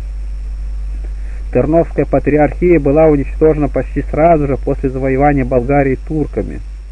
Уже в 1394 году из Константинополя был послан греческий митрополит и патриархия превратилась в рядовую епархию Константинопольского патриархата. Другая болгарская автокефалия, Ахридская, учрежденная, как мы видели, в 1018 году при уничтожении греками первого болгарского царства, просуществовала до 1776 года, до знаменитого Константинопольского патриарха Самуила I, завершителя этого объединения православной церкви. За год до этого ему уже удалось ликвидировать Печскую патриархию в Сербии, заплатив ее долги турецкой казне. Всюду бывшие архиереи с природных болгар и сербов удалялись, а на их места везде ставились греки. произволом каноническим воцарялось и насильное огречивание, насильное, особенно сильное в Болгарии, где оно послужит позднее поводом для так называемого болгарского вопроса. Такая же печальная картина наблюдается и на Востоке, в патриархатах Иерусалимском, Антиохийском и Александрийском, где жертвами этого насильственного объединения становятся православные арабы. Все эти обиды, накопившиеся и затаенные, все эти расчеты и интриги скажутся, когда начнет ослабевать турецкая ига и наступит час национального возрождения славянских народов первый период православная церковь вступит глубоко разъединенная этими национализмами, утерявшая сознание своей вселенской миссии, разбитые на маленькие миры, которые с подозрительностью и враждой относятся друг к другу, не испытывая нужды друг в друге, подчинились, по выражению Соловьева, провинционализму местных преданий. Став сначала восточным, православие теперь станет и до конца национальным. Подчеркнем тут же, что не в самом национальном, как таковом, корень зла. Универсальная империя давно стала фикцией, и не без участия церкви рождались на смену ей эти национальные психеи, в самом христианстве находившие питательный источник своего возрастания и становления, своего национального служения христианской истине. Нация, народ – есть такой же природный факт, как общество, и поэтому в церкви мог и должен был раскрыться положительный образ его христианского бытия. Он и раскрылся по-своему, когда в эпоху турецкого ига народ до конца слился с церковью, сделал церковь носительницей и всех лучших национальных идеалов. Но трагедия этого периода в том, что он отравил национальное самосознание православных народов враждой к другим православным народам. И в этой вражде выветрилось и предано было жизненное единство Церкви, замененное единством теоретическим. Больше того, сама Церковь стала носительницей уже не только просветляющего христианского идеала, но и символом национальной борьбы, источником религиозного национализма, до наших дней отравляющего православный Восток призванная духом и истиной просвещать все в мире, церковь в конечном итоге сама подчинилась плоти и крови. Христианский патриотизм смешался с языческим национализмом. Не менее трагическим нужно признать падение церковного просвещения, наблюдаемое в период турецкого ига. Правда, и до падения империи просвещение носило скорее аристократический характер. Не было уделом широких церковных масс, очень много, как мы уже говорили, православный человек получал от богослужения. И сами наши литургические тексты свидетельствуют о высоком уровне знаний церковного народа. Нельзя сказать, чтобы в турецкий период просвещение совсем исчезло, но понизилось, и главное изменило свой дух. Его целью стало сохранить эллинизм, и притом в его крайне националистическом духе. По словам русского путешественника по Турции в середине XIX века, Школьная любовь к эллинизму, без последовательного изучения его, довольствующаяся отрывками, порождает лишь ограниченное одностороннее образование, близкое к невежеству. Следствием этого бывает педантизм, напыщенность, от смешного желания примешивать к простому разговору древние эллинские фразы и, наконец, презрение к обыкновенному, но полезному знанию. Учителям кажется лучше затвердить на показ кое-что, о состоянии страны за две тысячи лет, чем ознакомить с современным ее положением. Византийское же высокомерие, признающее достоинство человека лишь в виде грека, продолжает посевать между христианами самые негуманные понятия. Школьное образование в той или иной форме не прекращалось. В Константинополе во все время турецкого ига просуществовала Патриаршая академия – светлую память сохранила о себе школа Потмосская, в которой в течение 25 лет безвозмездно преподавал основатель ее иеромонах Макарий, и Янинская, колыбель возродившегося в наши дни элли... эллинства. Короткую, но блестящую историю имела в XVIII веке Афонская академия Евгения Булгариса, который в конце концов монахи сожгли. Мне говорили, писал епископ Порфирий Успенский, русский знаток Востока, что монахи подожгли ее намеренно, думая, что ученость не нужна для этого света. И все же общий уровень образования был очень низок. В XVI веке митрополит Фессалоникский говорит, что ни один монах в епархии не знает древнегреческого языка и не понимает церковных молитвословий. А в самом начале XIX века Константин Эконом, греческий ученый, пишет, «Одно простое чтение богослужебных книг, и часто весьма неудовлетворительное, если только оно соединялось с мелодичностью голоса, давало уже право на священническую и диаконскую должность. Только в середине XIX века была создана осознана необходимость специального богословского образования – и в 1844 году открыта первая богословская школа на острове Халки. Из этого очевидно, что сама богословская традиция не могла удержаться на той высоте, на которой она, несмотря на все внутренние немощи, продержалась до самого конца Византии. А одну тему, настойчиво проходящую через весь турецкий период, следует отметить здесь это полемику с православными, прежде всего латинянами, а затем и протестантами. Порабощение греков турками открывало для папства новые перспективы, и, увы, оно не приминуло ими воспользоваться. Вся эта эпоха отмечена непрестанно усиливающейся на Востоке латинской пропагандой, которая слишком часто оборачивается настоящим уловлением душ – и это вносит еще новую отраву, новое обострение во взаимоотношения разделенных христианских миров. На восток были двинуты целые армии искусных пропагандистов, подготовленных в специальных школах. Самая знаменитая из них – коллегия святого Афанасия в Риме, открытая в 1577 году папой Григорием XIII. Сеть римских епископий покрыла весь православный Восток – надо признать, что в ответ на эту хорошо подготовленную атаку греческие полемисты не смогли ответить ничем сколько-нибудь существенным. В большинстве случаев они просто повторяли старые византийские аргументы, давно уже утерявшие свою остроту. Латинской церкви, ее нравов, стремлений и идеалов православные почти совсем не изучали, оставаясь при самых допотопных представлениях о латинянах, как об одной из казней египетских. Латиняне в своем церковном развитии шагнули вперед, а греки, когда им приходилось бороться с ними, топтались в каком-то заколдованном кругу.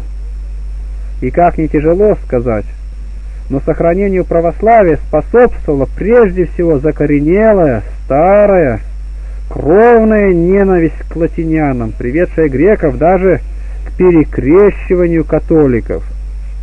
Никодим Святогорец писал в своей кормчей – Одно уже то, что мы питаем ненависть и отвращение к латинянам уже столько веков, это одно показывает уже, что мы гнушаемся ими, как еретиками, арианами, савильянами и так далее.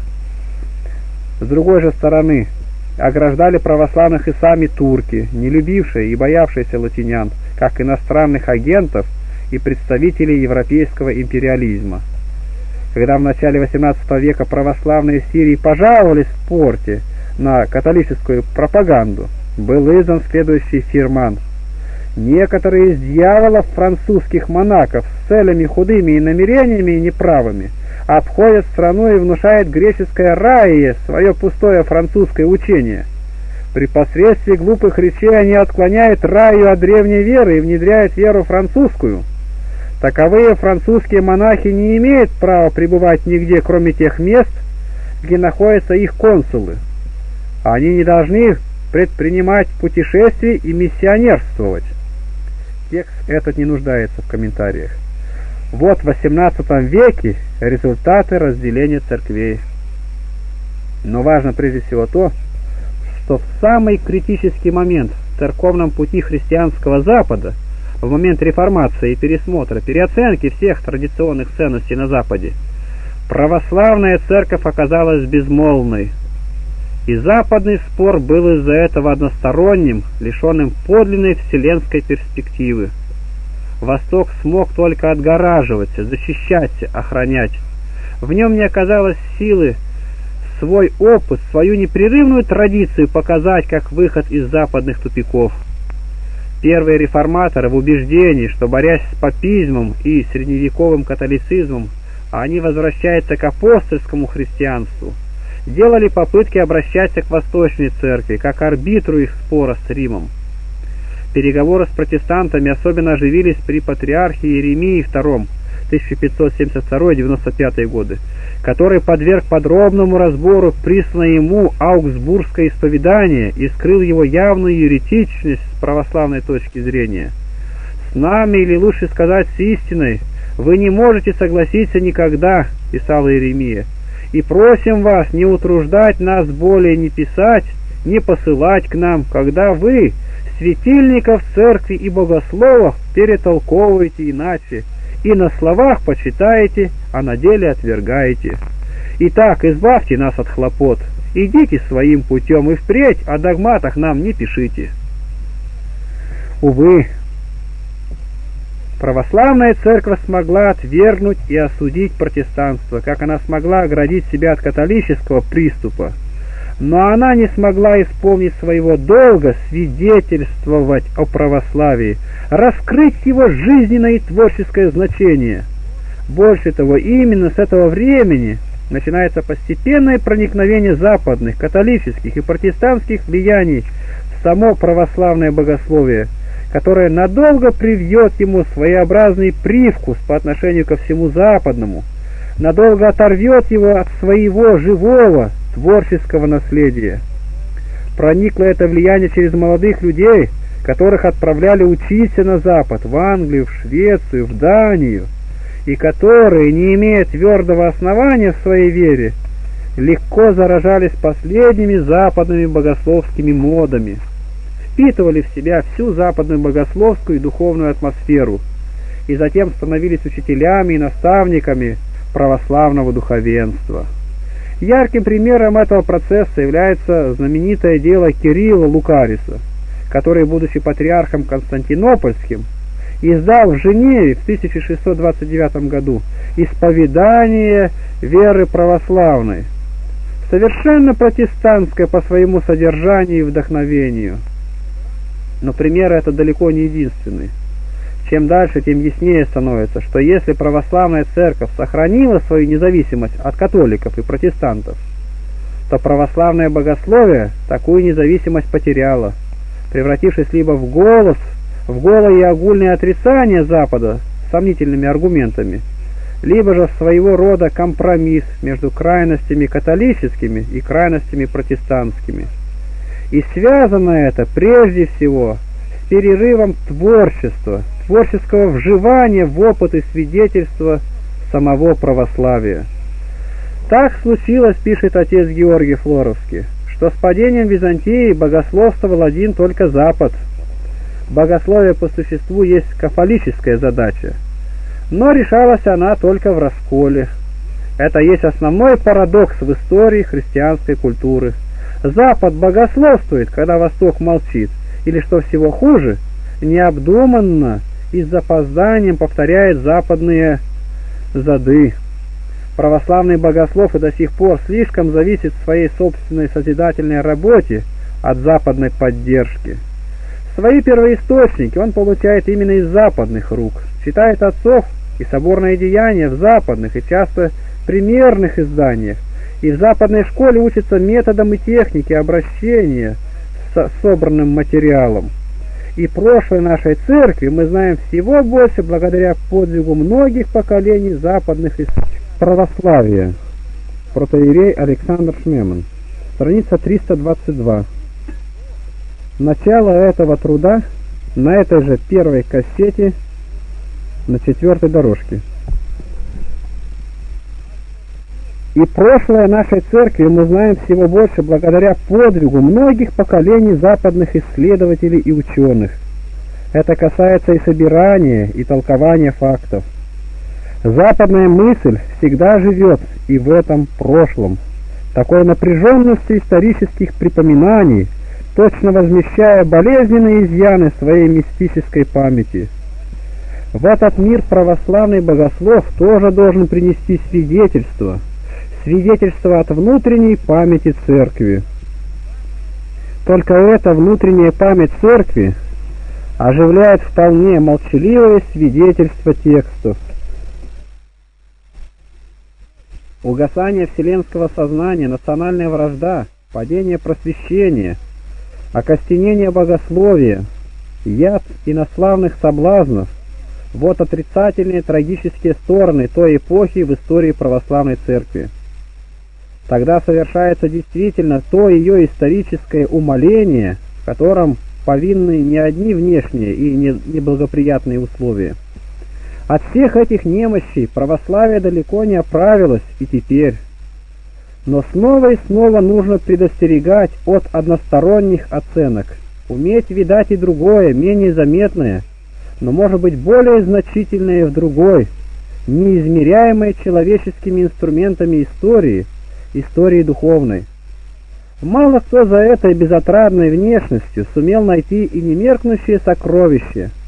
Меньше всего, увы, русские, так рано усвоившие себе великодержавное презрение ко всему восточному православию.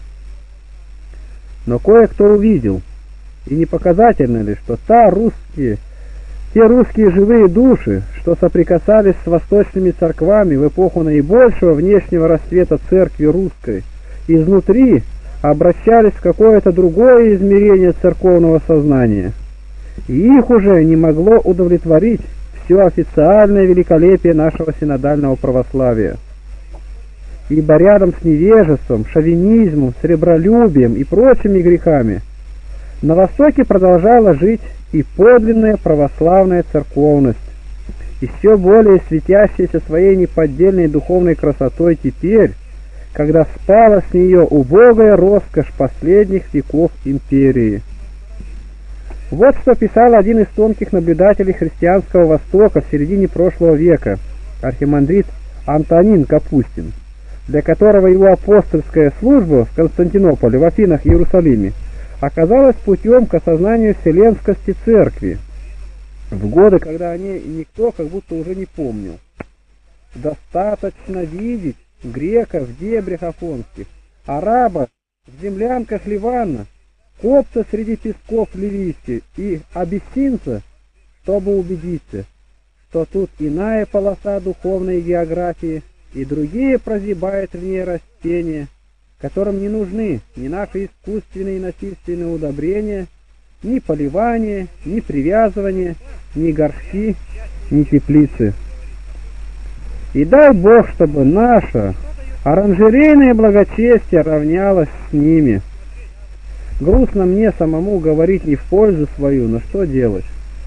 Стоя в убогой церкви Суэцкой и овладеваясь памятью стольких великолепных святилищ, известных мне, я не сумел бы вознестись духом даже безобразных и тех уже полузгнивших досок и стропил ее нависшей кровли.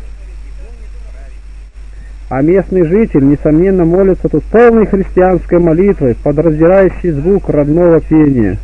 Убожество храма не говорит ему об убожестве Бога и благо ему. А в письме к митрополиту Филарету он пишет – Всматриваясь в подробности религиозной жизни греков, я нашел в ней столько еще похожего на то, чему учит нас Чекименей пролог.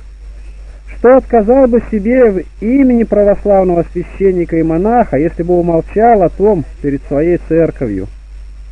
Там, на нищем Востоке, почувствовал он внезапно тоску по единству православия, по новому периоду его истории, призыв – уже не к раздроблению тела Христова по странам, по народам, по языкам, по страстям, по нуждам, по правительственным системам, по школам, а к воссоединению всех в совокупную жизнь Духа, любви, мира, радости о Духе Святом, к возрождению единой, органически живой, сильной, царственной православной Церкви Христовой.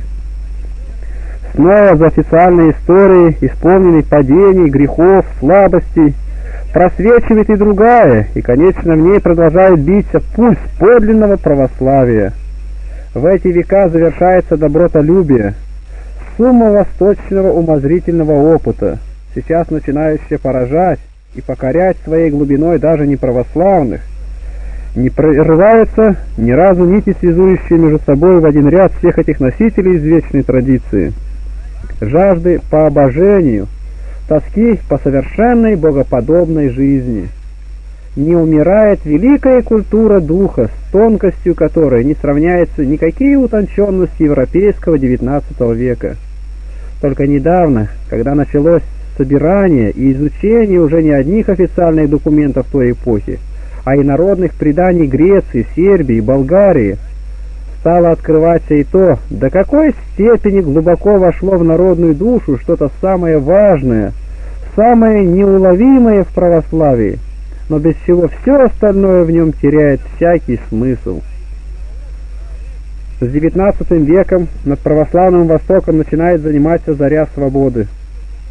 Сербские восстания 1804-15 годов – Греческое восстание 1821 года, освободительная война России с Турцией в 1877 году приводит к возрождению самостоятельных православных государств.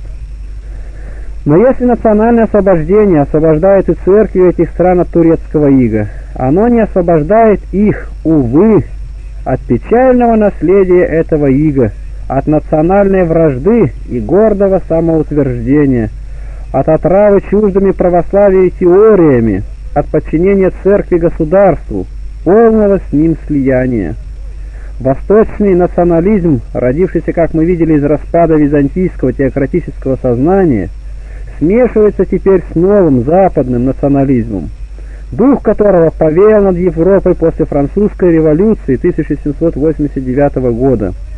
Греческие, болгарские, сербские цари византийской эпохи – мечтали о Вселенской православной империи. Теперь мерой сознания становится самоопределение народа, национальная культура и спор о пограничных провинциях. Болгария Симеона или Сербия Душана могли мечтать о завоевании Константинополя, но дышали и жили они единой христианской эллинской культурой, вселенским преданием церкви отцов и соборов.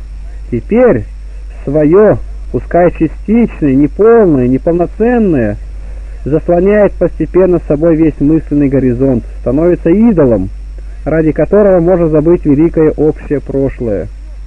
А уж если есть идол, конкурирующий с этим национальным идолом, то таковым отныне становится Запад, приобретающий какой-то мифический ореол – вот когда сам Запад признает, наконец, ценность византийской иконы, глубину отеческих творений, красоту восточного пения, тогда и сами православные начнут проявлять к ним некоторый интерес. До этого же настоящим авторитетом, политическим, духовным, даже богословским, для православного Востока становится Западная Европа. Традиционное православие остается уделом деревень, социальных низов.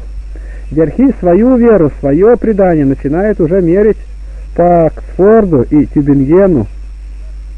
Характерно, что когда после восстания 1821 года основывается греческое королевство, сами греческие иерархи готовы на почти 20-летний разрыв с Константинополем, лишь бы иметь свою автокефальную церковь, причем почти не замечают, что на деле конституция этой церкви списано с лютеранских конституций вообще не знает никаких границ между церковью и государством.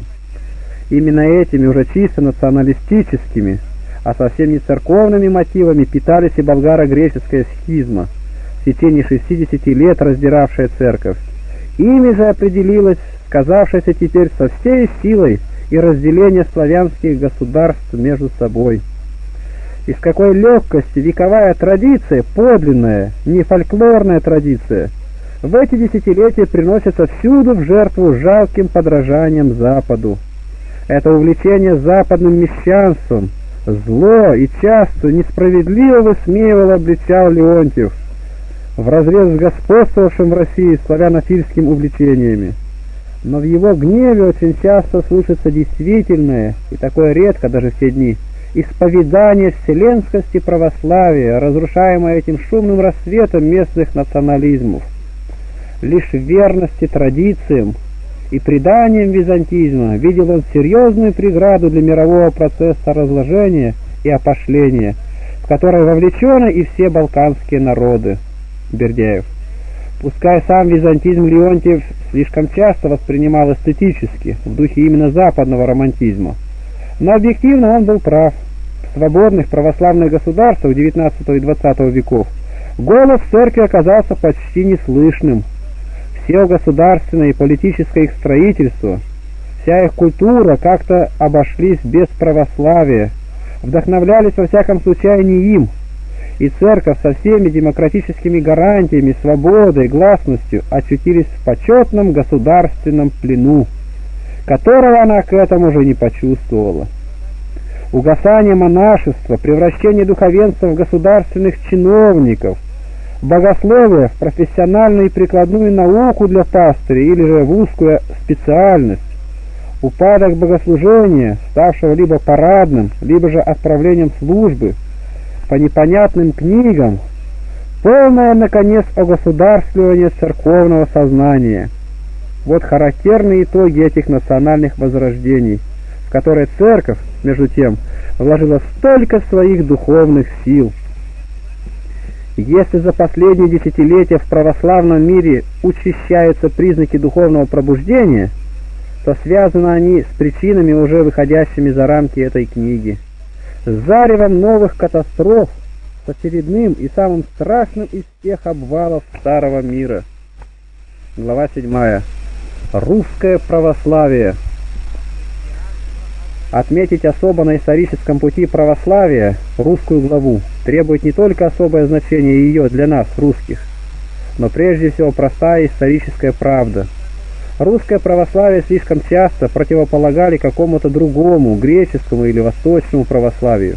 Русский мессианизм иногда попросту уравнивал православие с Россией, забывая об его византийских истоках и о спящем Востоке. Эту национальную самовлюбленность еще совсем недавно покойный Франк назвал хроническим заболеванием русского сознания.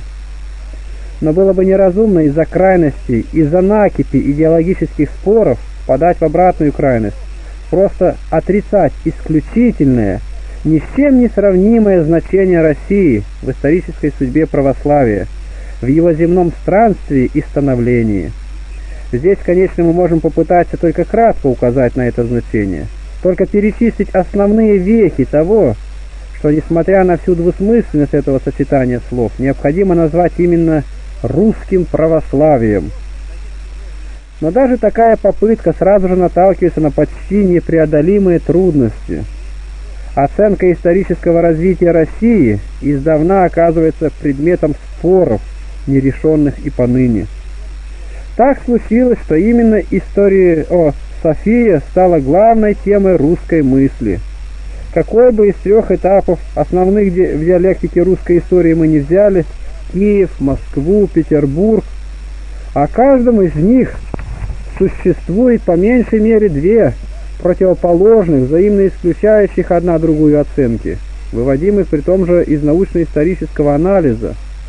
Между тем, историю русской церкви невозможно выделить из истории России, как невозможно отделить ее и от ее византийского источника. Как православие есть один из главнейших факторов в истории России, так и судьбы России определяет собой судьбу русского православия. Поэтому всякая оценка или даже простое описание русского церковного пути поневоле включает в себя отношение к прошлому России. Прибавим к этому, что полная история русской религиозности доселе еще не существует, как не написано еще и настоящей истории русской церкви. Слишком много еще попросту неизвестно и не изучено. Некоторые основные вопросы впервые поставлены только совсем недавно в эмиграции. И, наконец, Мучительный вопрос о церкви в России сейчас, значение самой России в судьбе мира, все это делает русскую тему бесконечно сложной. Не может быть сомнения лишь в одном. Царством в России большевизма кончается не только один период русской церковной истории, но завершается целая эпоха в истории самого православия. Изучение русской главы приобретает сейчас неизбежно вселенский смысл. Официальная история православной церкви в России начинается с Владимира Святого, Это не значит, что христианства не было до этого на Руси. Достаточно вспомнить о значении в русской христианской памяти святой Ольги, утренней зари, предваряющей солнце, по словам летописца. Напротив, христианство до крещения Руси уже настолько твердо утвердилось, связи с Византией и византизированной Болгарией были настолько прочными, сравните теорию о первом крещении Руси при патриархе Фотии в IX веке, имевшей в русской науке достаточно защитников – что только в свете этих фактов можно по-настоящему оценить и дело святого Владимира. По существу оно было не только началом, но и завершением довольно длительного процесса, победой определенной тенденции в государственно-национальном самосознании. Какова бы ни была личная приверженность Владимира к язычеству, о которой повествует летопись, ее же рассказ о долгих сомнениях князя в выборе новой религии, о послах в разные страны, о конечном выборе греческого христианства свидетельствует о том, что крещение Руси, как до нее крещение Болгарии, в сознании самого князя было прежде всего государственным делом. Показывать, что и для Руси наступило ее историческое совершеннолетие, требовавшее включения ее в христианскую традицию культурного мира.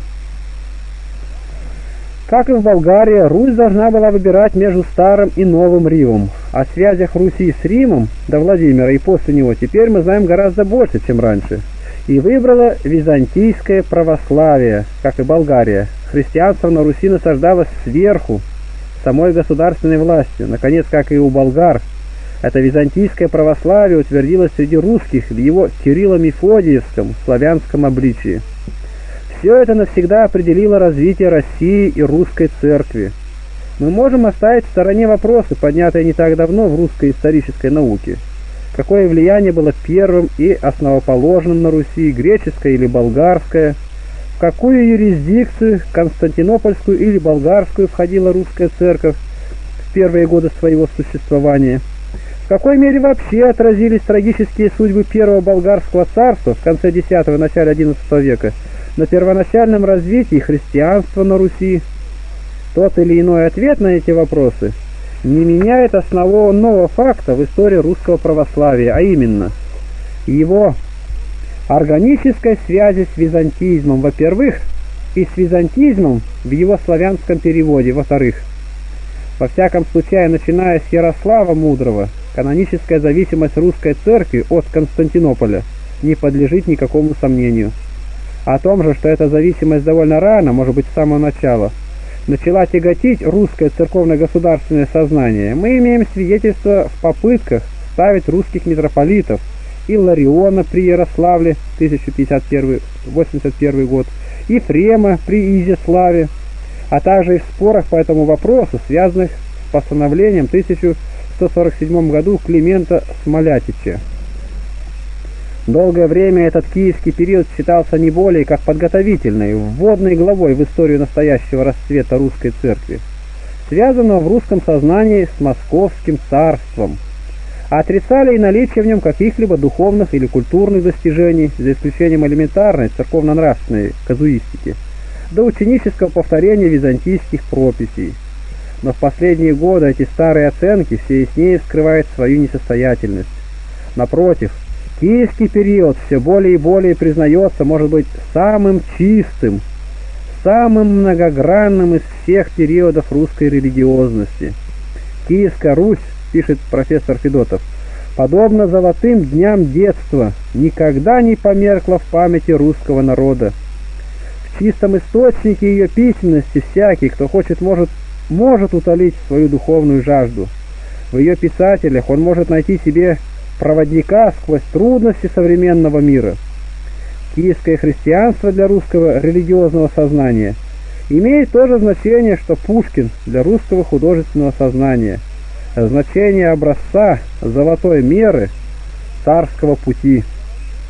Действительно, невозможно отрицать несомненного успеха христианства на Руси сразу же после его насаждения, каковы бы ни были неизбежные границы этого успеха. Он явлен прежде всего в святых этого периода, открывающих, как глубоко и чисто был воспринят на Руси евангельский идеал и устроен весь богатейший опыт православной святости. князья Страстотерпцы, Борис и Глеб, святой Феодосий Печерский и его ученики, жития которых сохранились в Печерском потерике, преподобный Авраам и Смоленский, святой Кирилл Туровский, святые епископы, борцы с язычеством, борцы за нравственное перерождение своей паствы. Одни эти примеры свидетельствуют уже о быстрых сходах евангельских семян. Они свидетельствуют также, и это хорошо раскрыл в своей книге о киевских христианстве профессор Федотов, о многогранности этой ранней русской святости и о своеобразном преломлении в ней классических византийских традиций. В основном это, конечно, все тот же восточно-христианский путь к небесному Отечеству. Святость, прежде всего, монашеская. Истоки ее в житийной византийской литературе, переведенной частично еще в Болгарии, Чити Минеи, частично уже в самом Киеве, Пролог или еще Потеряки, один из которых переведен был самим апостолом славян Константином Кириллом, в образах великих подвижников, в уставе святого Феодора Студита и так далее. Но есть в ней новые черты, почитание вольных страданий святых Бориса и Глеба, светлое, по-своему, к миру обращенная аскеза преподобного Феодосия Великого, больше всего возлюбившего уничижение Христа, то настроение или устремление, которое быть может, слишком подчеркивая его, Федотов назвал русским кенотизмом. В течение первого же столетия в Киеве создается духовный центр, наложивший свою глубокую печать не только на киевский, но и на все следующие периоды истории русской религиозности. Это Киево-Печерский монастырь, основанный в 1051 году преподобным Антонием. По-настоящему организованный преподобным Феодосием, подлинным родоначальником всего русского монашества. Печерский монастырь стал одинаково и мерой христианского максимализма, полюсом чистого, беспримесного христианства и совестью молодого христианского общества. В житии преподобного Феодосия мы видим постоянное участие его проповедью, обличением, напоминанием в жизни государства в эпоху, когда его уже начинали отравлять княжеские междоусобицы. Знаменитая лавра дала церкви до 50 епископов, которые всюду разносили ее дух, ее предания и уставы. Была она и большим центром благотворительной социальной деятельности. Так с самого начала монастырь стал в России мерилом всей жизни и, конечно, к сонму преподобных, наполнивших всю русскую землю своим свидетельством о небесном Отечестве – применимо прежде всего название Святой Руси. Другое доказательство успеха христианства нельзя не видеть в подлинных, не только номинальных победах христианской государственности, воплощением которой остался в памяти русского народа сам креститель России Владимир Святой.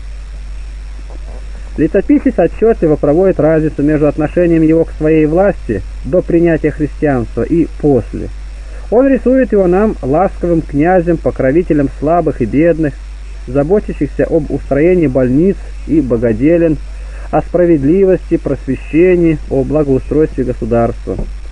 Другой удивительный образ христианского князя начертан Владимиром Мономахом в его поучении.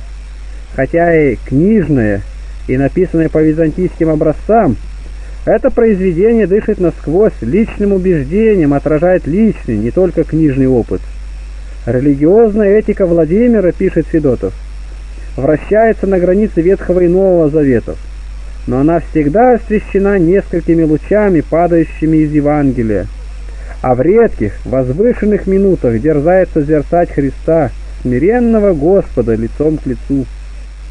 Надо запомнить это вдохновение совести, смирение, милосердие и справедливости на самой заре, на самой заре христианской государственности. В отношениях церкви и государства мы тоже видим почти небывалую в истории православия гармонию. Причем в начале киевского периода византийская симфония почти очевидно действует под знаком влияния церкви, не государства. Уже церковный устав Владимира Святого значительно расширяет по сравнению с византийским сферу церковного суда. Ему переходят, например, все семейные дела, дабы церковь могла успешнее действовать на перерождение общества. Еще важнее постоянное принятие князьями советом, руководства, наставления церкви, признание в ней авторитета совести. В драматической или даже в трагической истории отношений между христианской церковью и христианским государством киевский опыт, несмотря на всю кратость и хрупкость, можно рассматривать как одно из лучших христианских достижений. История православной церкви начинается с христианского максимализма, подлинной переоценки ценностей в свете евангельской истины.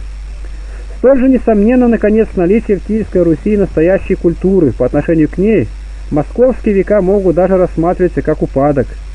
Здесь тоже инициатива идет сверху, от князя, от иерархии. Сам Владимир, будучи неграмотным, строит школы, его сыновья являются пример уже вполне образованных людей, особенно Ярослав Мудрый, при котором Киев становится одним из мировых центров. При нем работает целая артель переводчиков – он отбирает детей в школу, сам по преданию читает день и ночь.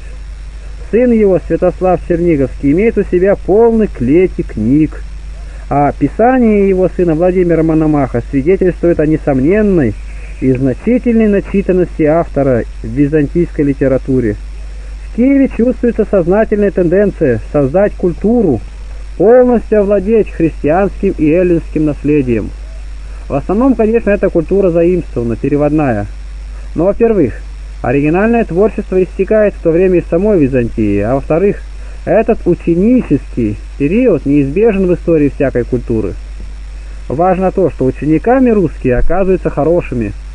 Митрополита Илариона Киевского Голубинский, великий хулитель русской древности, сам назвал не ритором худших времен греческого ораторства, а настоящим оратором времен его процветания – Проповеди Кирилла Туровского до наших дней сохраняют свою литературную, не только историческую ценность. Ранние летописи насыщены не одними фактами, но миросозерцанием, идеологией. Их авторы были людьми с определенным и чутким миросозерцанием, совсем не наивные простачки. В развитии русского летописания мы чувствуем всегда определенную религиозно-историческую тенденцию или идею – и, наконец, эпоху, в которой могли родиться слово о полку Игореве. Вряд ли можно назвать след за Голубинским много-много разве грамотной. Для нас важно то, что тогда переносится на Русь, и ею усваивается некая квинтэссенция православного византизма. Русское сознание включается в эту традицию, и она станет основоположным источником русской культуры. И усваивается эта традиция не только пассивно, но и творчески. С нею связан тот первый взлет русского, уже, уже национального самосознания, которым отмечено и слово Илариона, и летопись Нестора. Не случайно молитва к Богу от лица новопосвященного народа, который заканчивает Иларион свою похвалу Кагану, нашему Владимиру, принято даже в церковное употребление.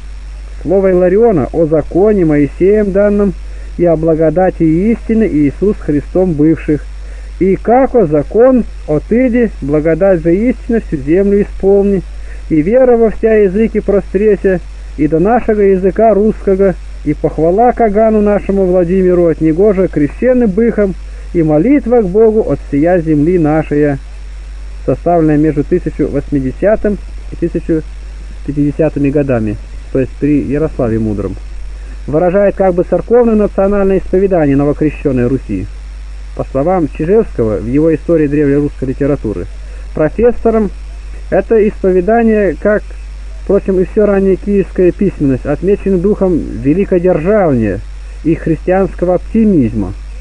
Великодержавие киевские идеологи одушевлены сознанием единства Руси, начинающимся в славе, ростом ее государственности. Но это одушевление укоренено глубоко в опыте крещения, принятия Русью благодати и истины. Благая весть пришла к русским в едино десятый час, но в лице своего Кагана Владимира они не умолены перед другими христианскими народами. В таком христианском уповании, в сознании призвания от Бога, рождается русское национальное самосознание. Им лучшие минуты будет мерить и судить себя в дальнейшем. Конечно, ни этого успеха киевского христианства, ни глубины самой христианизации – не следует преувеличивать. Она остается уделом элиты, тонкого слоя нарождающейся церковной и государственной интеллигенции. Да и тут некоторые памятники, как, например, вопрошание Кирика, показывает крайне элементарное понимание сущности христианства. Отметим сразу, что Русь принимает готовое православие в эпоху, когда в самой Византии все сильнее сказывается настроение охранительные, стремление все свести к прошлому, к завершенному образцу, боязнь что-нибудь нарушить в древних преданиях. Таким обрядоверием, некоторыми, некоторым гипертрофичным характером узколитературного благочестия русская психология отмечена с самого начала. Но гораздо важнее отметить сохранившееся под христианским покровом язычество, то недостаточно еще изученное двоеверие, которое, несомненно, является одним из ключей к русской религиозной психологии. Славянское язычество не означало фанатического сопротивления христианству, не было организовано, не имело ни письменности, ни разработанного культа, но все это только сделало его особенно живучим и опасным. Это язычество мягкое, природное, глубоко связанное с естественной жизнью. Христианство же долго было иностранной религией, и даже вдвойне иностранной, греческой и княжеской то есть находивший себе опору в варяжской дружине, составлявшей государственное ядро Руси. Для своего принятия оно требовало просвещения, было книжным по самой своей природе. То, что было в нем внешним, богослужение, обряд, воспринималось легко, чаровало и покоряло. Но создавалась опасность за этим внешним не увидеть и не стараться увидеть смысла того логоса, без которого сам христианский обряд становится языческим, ибо самоцелью, а душа продолжала питаться старыми природными религиозными переживаниями и образами. Язычество не умерло и не было обессилено сразу –